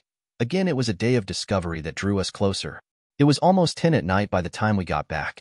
As soon as we were in the house, Bridget took the roast beef out and started making the sandwiches for me to take to work. What do you want on them? Bridget asked. Butter and a little bit of salt and pepper, I said. Anything else makes the bread soggy by lunchtime. I watched her make three sandwiches for me and place them in separate Ziploc bags. Then taking a brown sandwich bag out, she wrote my name on it. Bridget saw me tear up. What's wrong? she asked. Nothing. I just see you packing my lunch for what it is, I replied. That's all. What's that my mom still does it for my dad all the time, Bridget replied. A simple act that is done out of love, I replied. Mom, after she caught me with my head on your shoulder sound asleep, warned me that you had a gentle soul. I asked her why it was a warning. She replied my grandfather was like that, and he and grandmother had ten children. I couldn't help it. I started laughing and said, those were the days before birth control, and it was the twinkle in his wife's eyes that caused it all to start. She had just finished cleaning up when her phone rang. Her dad, worried about the neighbor, had arranged for a limo to pick us up and drop us off at work for the next month. Talking her into my arms, I leaned down and kissed her passionately. She responded in kind. Slowly things progressed as we began moving slowly to the bedroom. It was time, and we were ready. It was a night when we both put the needs of the other first. By the time we were done discovering all we could about each other, it was almost time to get up. While showering together for the first time, as we got ready for the day the first time as a couple, I washed her body down. She went to work glowing in frustration because by the time I was done, she was just as ready as I was to hop back into bed. The limo dropped me off at my firm first. I was wearing a black pinstriped suit for the first time. With my briefcase, I was carrying the bagged lunch Bridget had made for me. On the way to my office, I stopped at our luncheon room to put my bag in the fridge. The receptionist who was making the first pot of coffee for the day looked at me and whistled. A new suit, a new image, and a huge smile so early in the morning, she said. Who is she and how long has it been going on? I just laughed and responded. What makes you think it's that? Maybe it's just being free from the past. No, Trey, you have the look of a man who is discovering real love for the first time, she said. I'm happy for you and her. I hope she feels the same way. I was in the luncheon room eating the first of my three sandwiches at the mid-morning point when the receptionist came in saying, Are you expecting a client this morning? I said, No Mondays are usually set aside for reviewing my clients' accounts to make sure they're still heading in the right direction. Emerson Stevens here wanting to talk to you, she said. What should I tell him? Tell him where I am, I said, and find me a cup he can use. When Emerson came in, I stood up to greet him. Well, Trey, you're finally dressing for success. I like the new look, he laughed. Roast beef sandwiches that are homemade. I'm impressed. I guess you're here to talk about Dinah, I said. How are you and the better half handling it? I broke the news to her Friday afternoon right after getting a copy of your divorce papers. Did you know that my wife has a sister just as dirty and conniving as Dinah? He explained. I told her that you had warned me about what she had done to prepare me. She wants you to know that we will always consider you part of the family, Emerson explained. The New York Times has an interesting story about Dinah and her entourage running all over the city Saturday looking for something that they couldn't find. They were wondering why she was out of her normal high society spots and slumming down. Guilty as charged I needed to get my clothing out of the house, I said. By the time I got home Friday night, she and her entourage were already there. So, I had someone holding my cell phone with the GPS on figuring she knew someone who could track it. Just so you know, Dinah believes you have found someone new, Dad explained because you had to have helped to pull off what you did. All of your contacts that she knew said they hadn't heard from you all weekend. She blames the person who helped you for making her look like a fool. She is bound and determined that when she finds the her, her words not mine she's going to put her in the hospital. Thanks for the warning, Dad. She's right because she pushed the two of us together. They were best friends for years, I said. Both, Mom, and you have met her a few times. It started after I had moved to the spare bedroom because Dinah felt I needed to be watched so whatever I did or said did not interfere with her agenda. So, Dinah asked Bridget to monitor my movements and thinking while she came up with a scheme to defuse the situation she had pushed us into. He sat there looking at me for a few minutes and said with seriousness, Dora and I think the world of Bridget. Do Clarence and Grace know? They were the ones moving around the city with my cell phone. I said, over dinner. They said it was the best fun they had in years. To be honest, neither Bridget nor I were looking for a relationship, but with the situation, we were both put in by Dinah caused us to be together a lot, and it happened. Trey, do you think it's going to get serious between the two of you? My father-in-law asked. I was on my way home on Friday to have the locks changed when Bridget informed me Dinah and her entourage were already there waiting to confront me when I got home. I ended up staying the weekend at Bridget's. Both of us can see us achieving the kind of life we want, but neither has had. My father-in-law picked up his cell phone and called Clarence Smith setting up a lunch meeting and then said, I want to see if Clarence and I can get you both out of where you're living. Dinah is on the warpath. She believes it's outside interference that has caused all these problems, not her own conduct. Her aunt caused a lot of problems when her marriage broke up and ended up doing time because of her extreme actions. She, like Dinah, could not accept responsibility for her own conduct. I think some separation of space might be the best prescription for now. Dad, I read the New York Times Gossip Ladies articles on Dinah to her before I moved to the spare bedroom and said, who am I to argue with the truth of the most respected liberal paper in the United States? I said, then I asked her to prove to me that she wasn't having an affair knowing damn well that she couldn't. It hit him for the first time that she, by her own conduct, had built a case against herself. So he said, she marketed herself into millions and out of a marriage at the same time. It's sad that she will never understand that. I was sitting in the little luncheon eating my last two roast beef sandwiches at lunchtime when the president walked in. I hear you had Emerson Stevens sitting in here with you this morning. Anything I should be concerned about? No, not really. He was just touching base, catching up on a few things before his luncheon meeting with Clarence Smith. I said as I stood up and closed the door to the room. Off the record, they have been casual acquaintances for years. Their daughters used to be best friends. And you have a personal relationship with both if my understanding is right, the president said. That explains a lot of things. Some in the business think their organizations would make a good merger. Sir, I don't get involved with their actual business operations. If they want business advice, I tell them that it's best that I stay out of it because it could cause a conflict of interest and affect my career. I said in a serious tone. But I have offered to put a few experts together if they needed it, because I have a few that are good clients. Trey, I think from now on you should just call me by my first name. A man who walks in the shadows of those two men is very trusted by them. He said, It also shows what they think of your character. Okay, Gordon, I can do that, I said. As soon as he left the luncheon room I knew and understood fully this game we called life. My boss, based on what his perception saw, had made a decision about me based more on what he assumed than what he knew. It showed to me just how important truth and honestly were because his perception had nothing due to with what I knew to be the truth. Bridget called me around one o'clock. Emerson and her father were gone for lunch together, and she wanted to know what was going on. The first thing I told her was how much I had enjoyed my three sandwiches then I explained what Emerson had told me. To Dinah, I've become the reason for the end to her marriage, Bridget said. Her perception has distorted the reality of it all. It's sad when one's view won't allow one to see their own part in a situation. Dinah is trying to manipulate and control others' view of things has caused herself to lose the ability to see the truth. I said, it's sad because she has proven that we as humans will only see what we want to see. The lies, truth, or facts mean nothing. It's our perception of things that guide our thinking. It's been crazy here, Bridget said. I guess we were seen when we went to Coney Island. So, everyone knew thanks to the gossip that I was dating. Then my assistant saw my face today and asked who he was, and when did you realize that you were in love? I got it too. The receptionist was making coffee when I put my lunch in the fridge. She said I looked like a man who had discovered real love for the first time. I told Dinah's father about us this morning and how we got together. He's meeting with your dad to figure out a way to get us out of being right next door to Dinah. Emerson is worried about us. While there must be something else going on in his wife and his mind, Bridget said, for him to take extreme steps like this.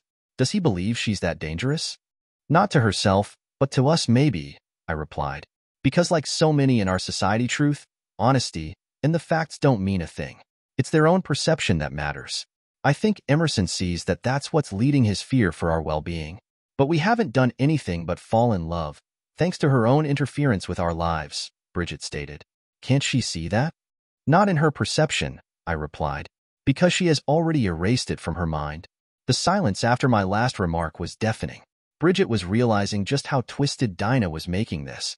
I knew that Dinah believed in her own eyes that she walked on water and could do no wrong. She had no checks and balances in her life. As a result, she had lost her judgment between what was right or wrong. Finally, after a few Bridget said, Our mistake is that as a result of her conduct we fell in love. If what we see is right, what price is she going to force us to pay? I really didn't have an answer to her question, and I told Bridget so. Our conversation brought out an understanding of our current situation and how serious it was.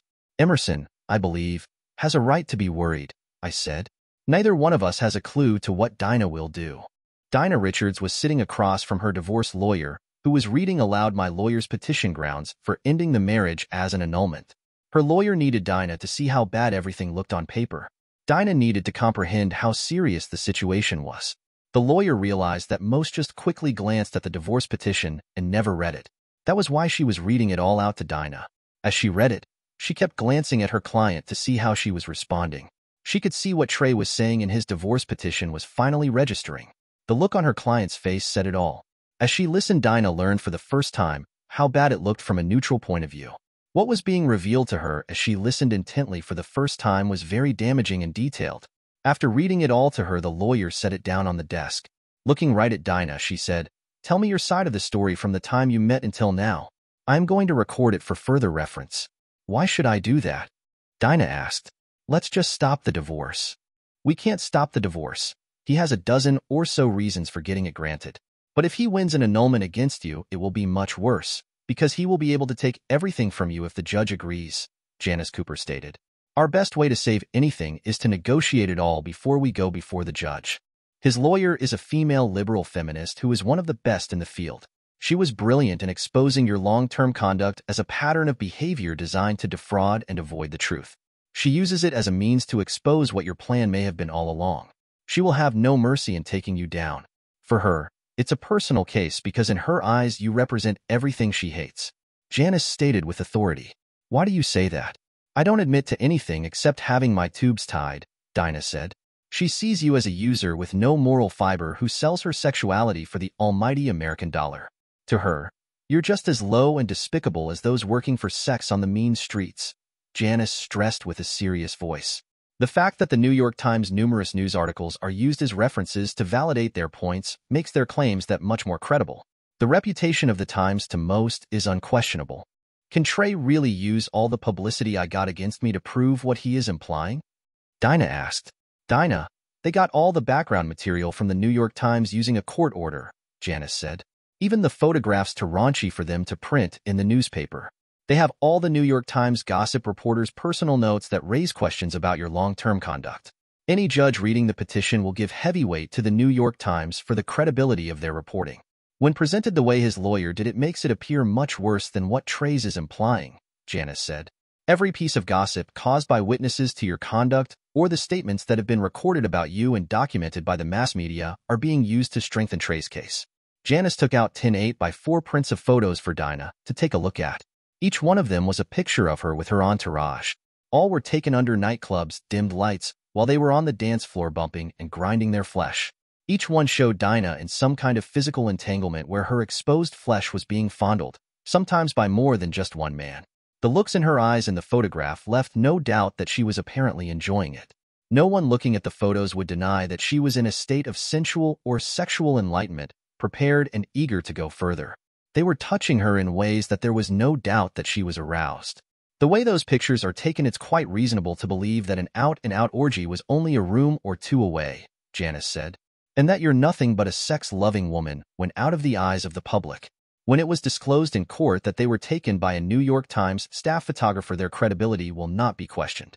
The judge will accept it as the unquestionable truth of your active lifestyle. Dinah's face went white. She could not even remember who she was with at the time and who was touching her. It might have been just a momentary incident, but that is not what the images implied.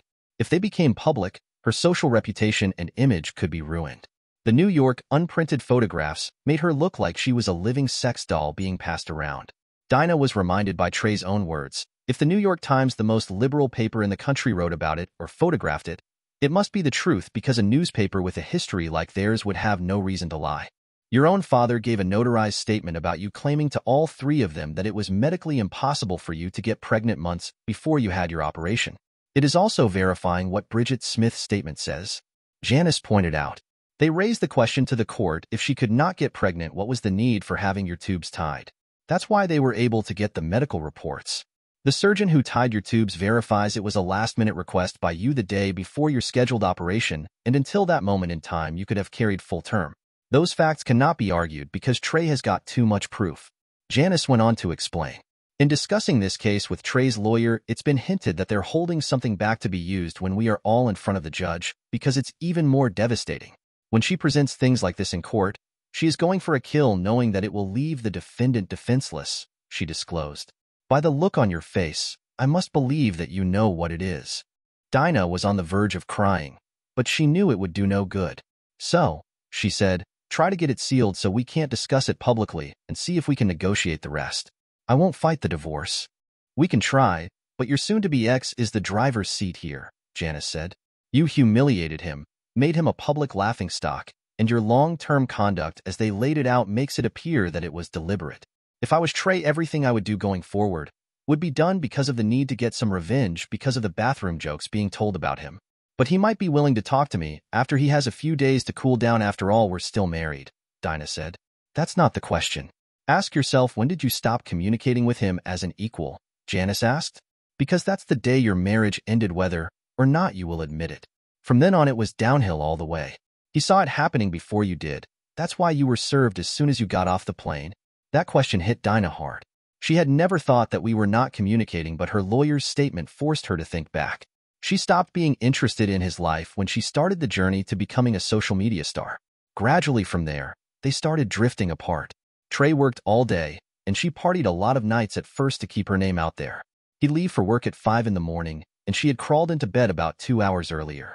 She had started this whole journey with that knowledge in the back of her head and had promised herself it would only be two nights a week. The more she got into it, the more she wanted it, because to her it was a drug that she started needing. Her lawyer was just stating the facts that everybody could see, but she hadn't. She had been too busy chasing the dream to realize she was walking out of the marriage in her own way. Now it had turned into this nightmare.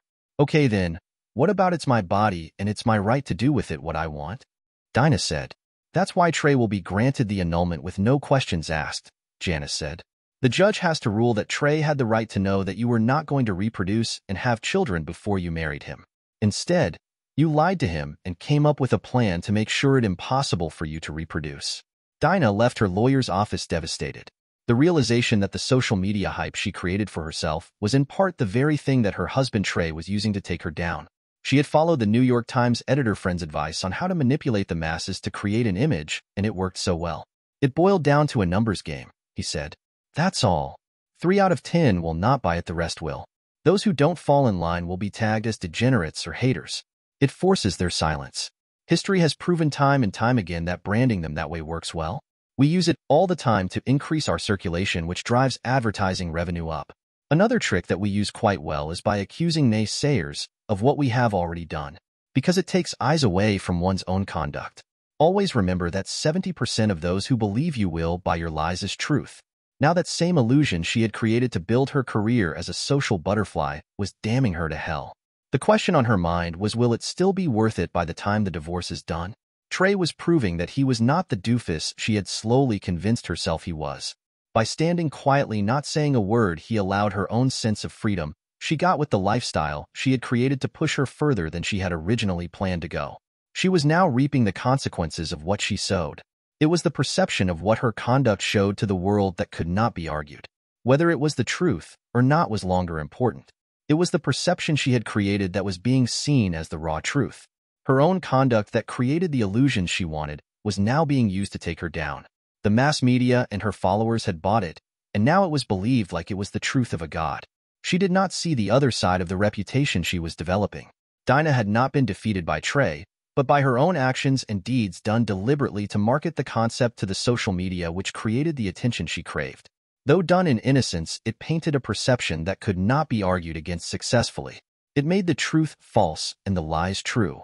In reality, her only real sin against her husband was when she had her tubes tied.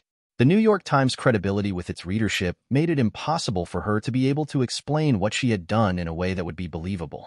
As she hailed down the taxi to take her where her soon-to-ex worked, she reviewed what her lawyer had read to her and realized that he hadn't revealed the most serious thing she'd done. If Trey was really out for revenge, he would have. So why had he kept it secret is what she wanted to know. Perhaps he hadn't found out. It was about 5 o'clock at night when Dinah found herself standing across the street and facing the office tower Trey worked in. She was hoping that she would be able to catch him leaving the building. She wanted to see if he would be willing to go through the divorce quietly and agree to keep it out of the news. If she was to keep anything, she had worked so hard to create she had to have him to agree to secrecy.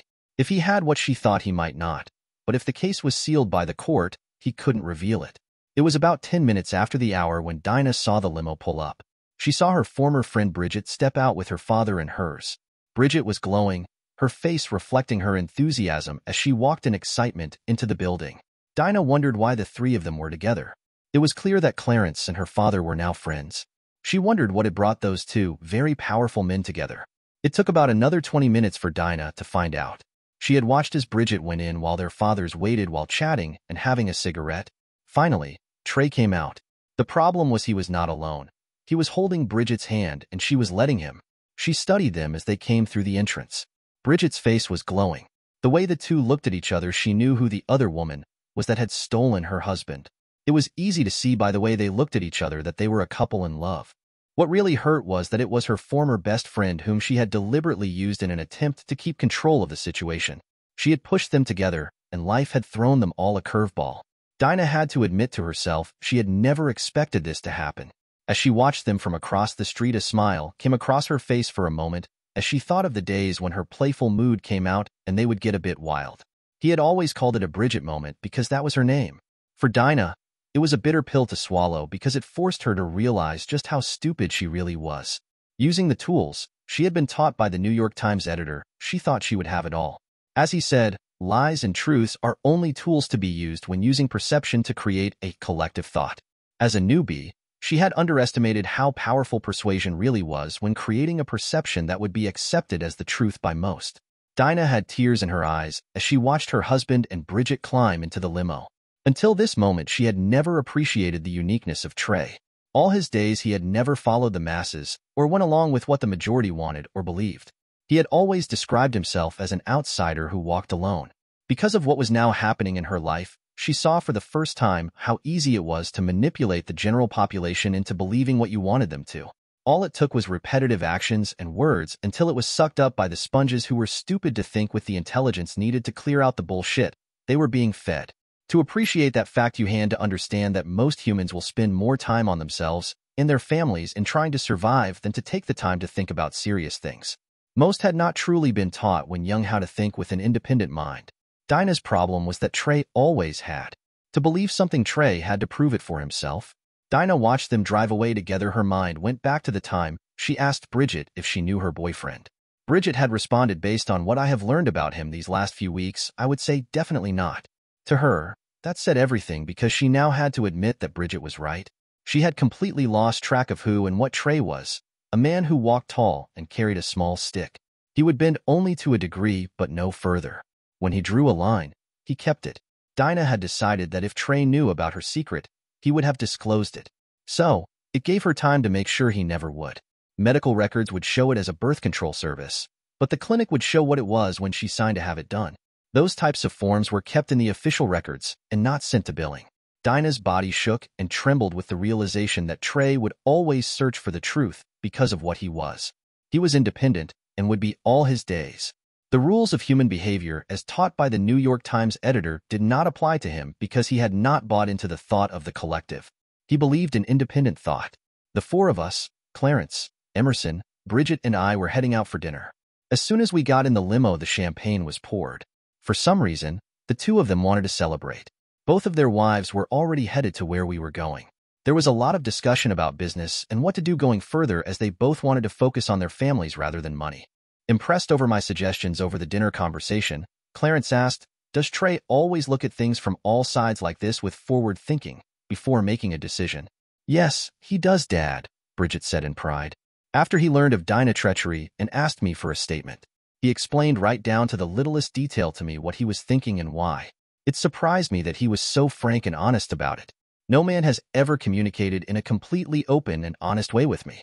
It made him completely different from any man I had known, I looked at her with a look of puzzlement because I had never seen myself as different. That night I saw that he was behaving in the same manner you would dad. I didn't learn until later that he was raised out of state. Bridget went on to explain. That's when I started to learn that he was not the man that Dinah was leading me to believe he was. It took me a while to realize that she had been manipulating all who came into her life for a long time, including me about what kind of person he is, and that we had to accept her reality of him as the truth. Trey has a thinker's mind, and when he's dealing with an issue, he will openly discuss all things good and bad about it before making a decision and take into consideration your opinions. Bridget went on to say, I learned that it is his way of mentally preparing himself for anything. A few minutes later, Emerson explained, Dinah is like my wife's sister in a lot of ways. She decided that the woman who was involved with her ex-husband had to hurt just as much as she did. So, she drove over her ex-husband's legs three times before she stopped the car. That's why we have been so concerned, Trey, Dora said. She was found to have a mental health issue. The stress, the anger, and the emotions coming out caused a break. It took him three years and six operations to heal, but to this day he requires the use of a cane to walk. With our family history, until Dinah gets professional help, we can't take the chance that she will be all right going through the divorce. Bridget took my hand. There will be no driving your car for a while. I don't want to give her the chance to be near you in any way. As we ate, we discussed little things keeping it light. Dinah approached Bridget's house carrying an envelope. As started walking up the driveway, a gentleman got out of a vehicle and stopped her. Ms. Richard, I'm sorry to inform you that no one is allowed on the property, he said. I'm now asking you to turn around and remove yourself. I was just going to leave this letter at the door, Dinah replied. I can't allow you to do that. We have strict orders, he replied. I suggest that you either mail it or have a courier service deliver it. Can I escort you off the property? Dinah recognized the security firm. It was one that her father had used very often when needed in the past. She had been warned by her parents that they would be doing this if they did not see that she was seeing someone professionally. Dinah started crying because she knew that her parents didn't even trust her anymore. Walking home, she decided to have a courier pick it up and deliver it to Trey's office. Tonight, she would begin to pack what she could take out of the house when she had to leave. Tomorrow, she had a real estate agent that was going to show her a few places that were up for sale that might suit her tastes. With what was going on in her life, right now she was in no party mood. On the ride into work, Bridget and I both agreed after sleeping on it that we would accept her father's and my father's in-law offer. I went into the building carrying my briefcase and brown bag containing my three roast beef sandwiches. The day was going fine and in the afternoon. As I was headed to grab another coffee, the receptionist stopped me and handed me an envelope that had been couriered in. It was from Dinah. My first reaction was to throw it in the trash. Instead, I put on the corner of my desk and got on with my day. Bridget called a few minutes later, and I told her that I had received a couriered envelope from Dinah delivered to the office. She asked what it said. I replied that I have not even opened it yet and wasn't sure that I would. Bridget got me to agree to bring it home with me so we could discuss together what we should do. It was after dinner that I opened the letter. It read, Trey. Looking back after seeing Bridget and you together I realized too late that I had pushed you out of my life long before I had my tubes tied. I lost sight while chasing the dream of what was important in my life. Even my getting my tubes tied has to be tied into my chasing my dream because I really did not consider the consequences of what I was really doing. Bridget, when I asked her if I knew her boyfriend, said I didn't. I just now am beginning to see how true that is. In honesty, you did not leave me. I left you willingly because of what I did without discussing it with you. Mom and Dad demanded that I seek professional help. Please tell them that I have set up my first appointment. I'm still not sure if I will go, but I am considering it. I have a real estate lady looking for new digs for me and have begun packing to move. When I saw the two of you together as you walked together towards the limo, I realized that we never looked like the two of you do together. It's got me questioning our relationship and wondering if we were ever in love. I may never know the answer to that. I would like to have our divorce sealed so that everything is kept out of the New York Times and other media that I am beginning to hate. My lawyer said your lawyer had built such a detailed case that there are six or seven different reasons for granting the divorce. I won't be fighting it as long as you are reasonable about it. Forever yours, Dinah. Bridget looked at me before asking, Do you think she's being sincere or not? I'm not sure, I replied. She just might be living proof that you can't fix stupid. My problem is that based on the long-term lies, how can I not believe this is just not more of her bullshit? I can see why she needs to keep it quiet.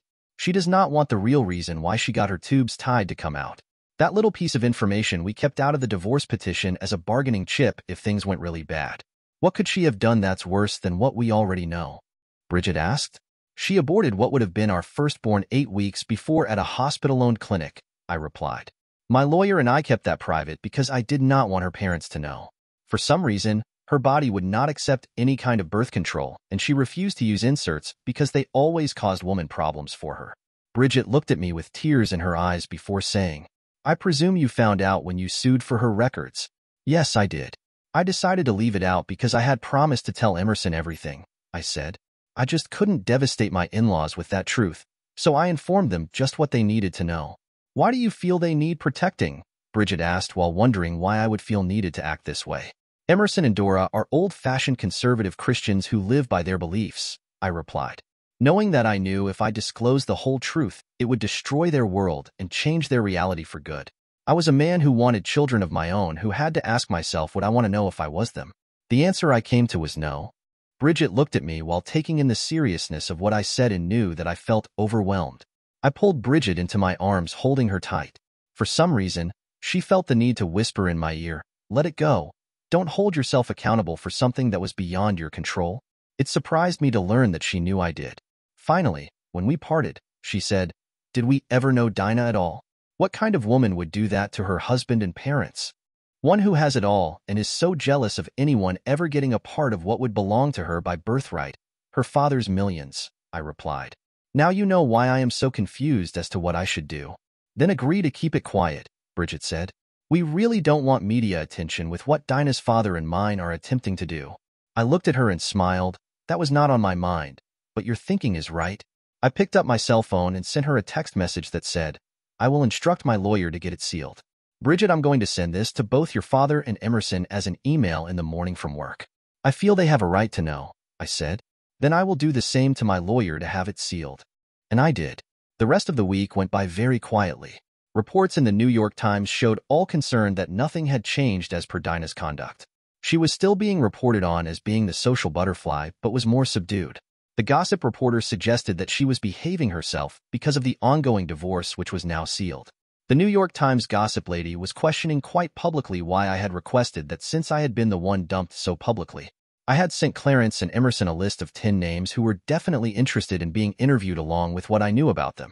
Emerson called me late Friday afternoon to confirm that Dinah was indeed seeing a professional. A private investigator had been following her since he received a copy of her letter to me and confirmed that she had gone for her first appointment. Saturday afternoon a for sale sign was placed on both Bridget's and my former residence. Dinah's lawyer had provided us with written approval to sell the house.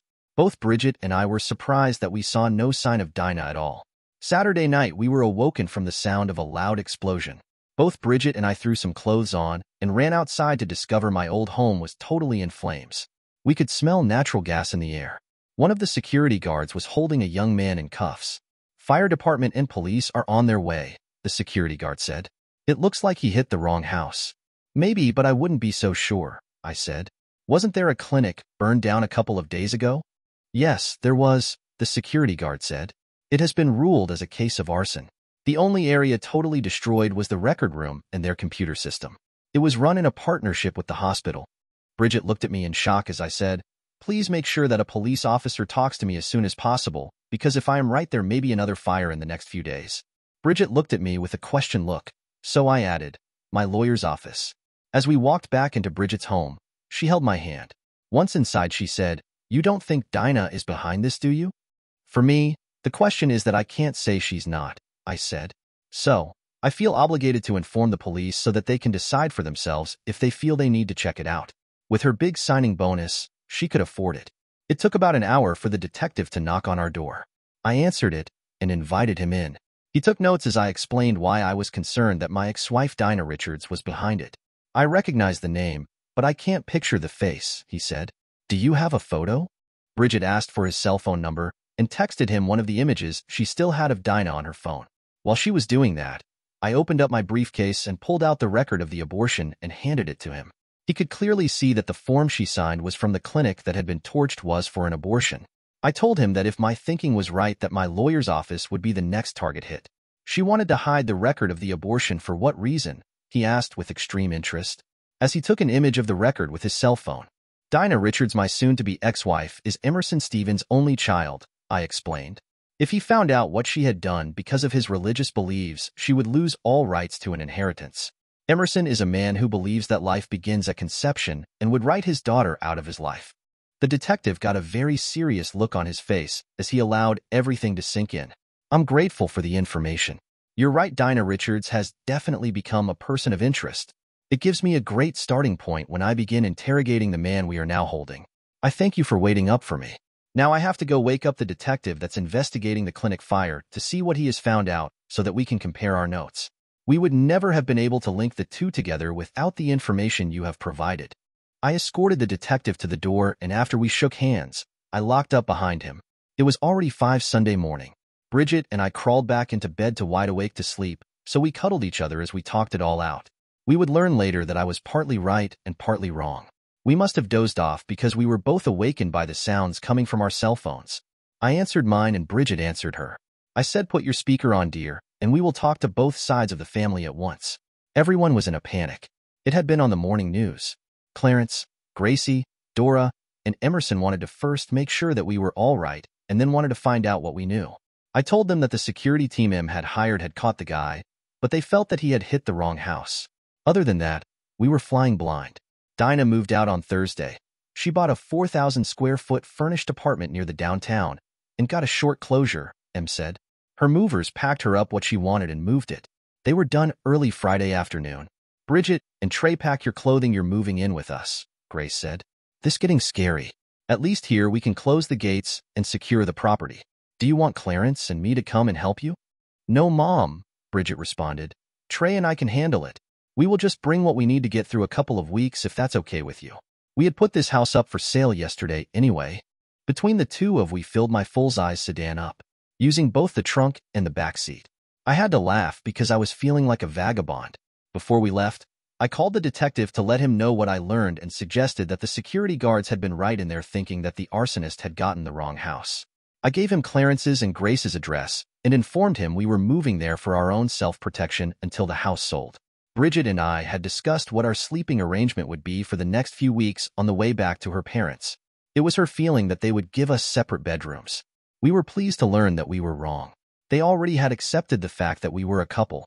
When looking back at the time later, it would be with happy memories, because we both received a refresher course on how to make a marriage work. The little things we learned from observing Bridget's parents' interactions we brought into our relationship made ours stronger each and every day. One of the first things we worked on together was making sure that we did not assume to know the other's thinking on anything that might become important. Bridget's parents had to laugh, because we were already starting to finish each other's sentences. A few minutes later, as I was still chatting with Bridget's parents, Bridget came into her father's den all excited and said, You two better come into the family room to see for yourself what just came over the news. We followed her. She used the remote to rewind the program to start what she wanted to see.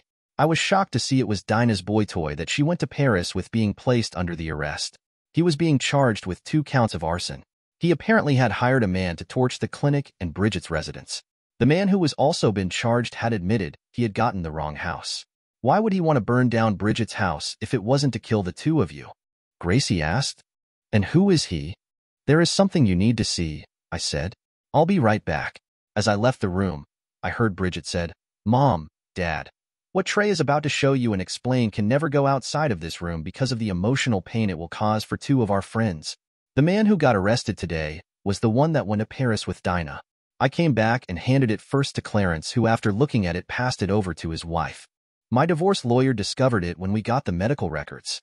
We served the clinic with a court order for their records concerning my ex-wife. She had the abortion eight weeks before she had her tubes tied. I'm going to go put this into the safe, Clarence said. I'm afraid if they can link the arsons to Dinah, it is going to come out anyway. It's sad that Dora and Em may never know how much you're protecting them. With that said, he went back into his den. Grace said, so that's why the divorce is sealed. Dinah wanted to make sure that her parents would never know what she had done. Does she know you have this? Don't know, but she must be really concerned about the possibility, otherwise none of this would be happening, I said. Mom, the only question is does the tomboy realized how much he has been manipulated? Considering who he is, his monthly allowance would easily have covered the cost of this, Bridget said. Dinah may be sitting pretty in the knowledge that she can't be connected to this. That woman will no longer be a problem for you two, I promise, Grace said, no one puts my family in danger. By the time I am done with her, your divorce Trey will be a walk in the park. I looked over at Bridget. Her face showed some serious concern I went to speak, but she shook her head warning me off. Later as Bridget and I laid on the bed cuddling, she explained. There have been a very few times I have seen my mother with that look. Each time it happened, there was a threat to her sense of peace and security. She is going to do something to resolve the issue permanently. Dinah won't be touched, but she will not be an ongoing problem. My mother used to be a character actress on the stage. I believe she is going to use those skills she developed back then to send a message to Dinah that she will never forget. Hopefully it will force Dinah to speed things up, I said. I'm ready for all of it to be put behind us. I was up early, so I was downstairs making a pot of coffee before getting ready for the day when a strange woman came into the kitchen. I looked at her and said, Who are you, and what are you doing here? The lady laughed and said, I was hoping to be out before anyone got up. So, Promise me you will forget you ever saw me looking like this. It's taken me three hours to do the makeover and get dressed. Not a word will be mentioned about this, I promise Grace. Bridget explained to me that you used to be in the theater back in the day, I said. Thanks for getting my adrenaline going this morning. I won't even ask what you're up to. When I deliver the type of message like I am going to today, I make sure before I leave, they know what they see in front of them is an illusion. I will even change the sound of my voice two or three times to reinforce the seriousness of what I'm saying. That way they will be forced to take very seriously what I have to say to them. Grace said, Once I put the fear of God into them, I have never had a problem. In my whole married life, it's not failed me once. Well, I will never forget that you could be standing in the same room with me without me knowing, I said. It's a good thing I don't have a devious mind. I was in a rush for my daughter to get married because I wanted grandbabies to hold, Grace said. Now I can honestly say I'm glad she didn't. You two met when you both were not really looking and fell in love for the right reasons. That is a blessing that Clarence and I shared when we started out. You two remind both of us as us when we were younger. In a couple of weeks, we will be flying back to attend a friend's anniversary, I explained. At that time, Bridget will be meeting my parents. I've told them the whole story, so they are aware of everything. Keep it quiet for now because Bridget has not learned that part. With that, Grace went out the door. I took two coffees up to the bedroom so we could start getting ready for the day. It was around 11 in the morning Dinah, having just gotten up in her new condo when there was a knock at the door. It was an insurance representative here to inspect and photo the place because of the value she paid for the place. Dinah let her in, and the lady began taking photos of the place while she made her first coffee. Finally, the lady spoke again, but with a different voice. Mrs. Richards, who is soon to be divorced, I am not an insurance representative. I am an agent who has been given a policy that has been taken out on you, she said. You have stepped on and used one too many people to get you to the point where you are, the lady said. I have not been hired to kill, although I wish I had. The person or persons who have hired me want to make it clear, the lady said again using a different voice, that they have had enough of your bullshit. They have decided that you have to change your ways. With that said, the lady took out a vial out of her purse, opened it, and poured the contents over the wooden dining table. It started eating it. Dinah stood there in shock. Remember the next time you see me, I will not look or sound like this, the lady said. You saw the damage I was able to do your expensive table. Just remember this day because the next time I will be throwing on your face. With that said, the lady picked up the items she came in with and exited the place. By the time I got back that night, Grace had returned and looked her normal self. Bridget and I spent Saturday and Sunday house hunting. On Monday, Bridget called me around 4 o'clock and said, We're going out for dinner with Emerson and Dora. They said they need to talk to us both. I don't know what it's about, but I think something has happened. We arrived and were led to our private table by the hostess. Em and Dora were waiting for us. After greeting each other and ordering our drinks, Dinah has flown to California to look for a second residence, he said. She is feeling the heat and wants to get out of the city. We feel something has happened that has changed her views of always being a New York girl. Maybe it's the fact that her current boy toy is looking at doing some time has forced her to want to put as much distance as is possible, I said. I really have no clue as to what she up to. She's become quiet and distant, as if something has shaken her reality to the bone, Dora said. When I asked her about it, all she would say was I did it to myself. We went over to talk to her on the weekend and to see her new place, Emerson said. It's a beautiful condo, but she is going to have to replace an expensive dining room set. It appears some kind of acid has destroyed the table. I asked her about it, and she refused to explain. I just thought Grace had delivered her message in such a way it had registered better than I imagined. Dinah was making changes in her life for her own protection. Tuesday afternoon after the stock market closed my divorce lawyer called. Dinah's lawyer had sent us a revised settlement offer. Both my lawyer and I were surprised by what I was being offered. Dinah was even willing to pay my lawyer's fees. As a result, I would come out of it better than I had thought. I told her to accept it before she changed her mind. You understand if the judge approves it, you will get your annulment will be done in less than two months, she said. Do you think it was her boy toy getting arrested that forced her to make you such a good settlement offer? To be honest, I was told that someone sent her a message in a personal way, I said, after he had been arrested. Perhaps it was from someone from his side of the family. I learned last night she is in California looking for a new residence because she wants to spend more time there. As I looked over at Bridget sitting beside me reading a book on the plane headed to St. Louis that Thursday morning, I thought how blessed I was for what Dinah's behavior had brought me. Both Bridget and I had left our former employers. For the next two weeks, we would be vacationing in my old stomping grounds. By the time we got back, the divorce will have been completed. Our home would have been repainted and ready for us to move in. Bridget's parents had surprised us with it two days after I gave her the ring she was now wearing on her left hand. It was on two and a half acres of land less than two miles from their house. I told Grace the reason she wanted in the neighborhood because she wanted to babysit the grandkids. She had replied, You got that right, so when are you going to start working on them? As we descended down into the St. Louis airport, I said, We got about a 45 minute wait before we have to catch our connector flight to the Cape. From there, it will be about a 45 minute drive for us to get to Marble Hill where we will be staying. I'm looking forward to seeing where you grew up, she said, and to seeing some of my dad's side of the family while I am here. Do you have anything planned for us today after we get there? You find out as soon as we get off at Cape, I said with a chuckle. We got off the plane in Cape and walked across the pavement to the small terminal. I could see my parents waiting for us. As soon as we came through the sliding doors, Bridget caught on. I was a younger version of my dad. They walked towards us, and he said in his deep voice, This beautiful lady must be the Bridget you told us all about. I introduced Bridget to Beth and Ben Richards, my parents. Dad said, You go pick up the luggage. I'll go get the truck.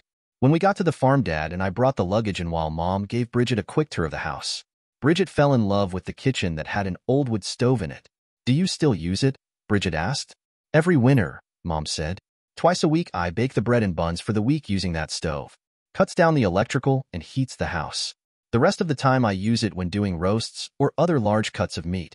My mom was thrilled that Bridget loved to cook and got in and helped her when she started making lunch.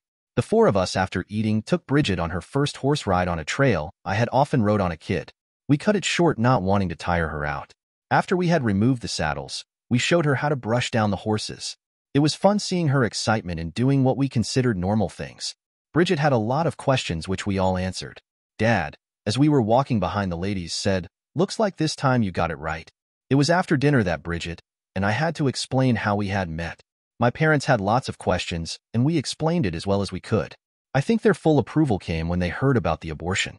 A woman who can abort their unborn for any reason, my mom said, has shown that she could justify killing their own spouse. That's the problem in society today. There is no respect for life in any way. Bridget and I, in the privacy of our bedroom, discussed what our mother had said. We both came to the conclusion that my mother had been right. We both agreed that we would no longer discuss Dinah to anybody because the part was behind us forever. It's been six months since my annulment was granted. Bridget and I had a small ceremony. My parents flew out to witness the ceremony. Like my dad told everybody he had to see it to believe it. My mother-in-law is in her glory as Bridget has started to show. So now she's running around town finding the pieces to set up the best two nurseries in town. One for our place, the second for hers. To be ready for when Bridget returns to work. The New York Times in all its glory has reported in its latest gossip column that Bridget is carrying two. It must be true because we all know the New York Times, the most liberal paper in the country, does not lie. Dear listeners, please share your thoughts in the comments section below and don't forget to like, share, and subscribe.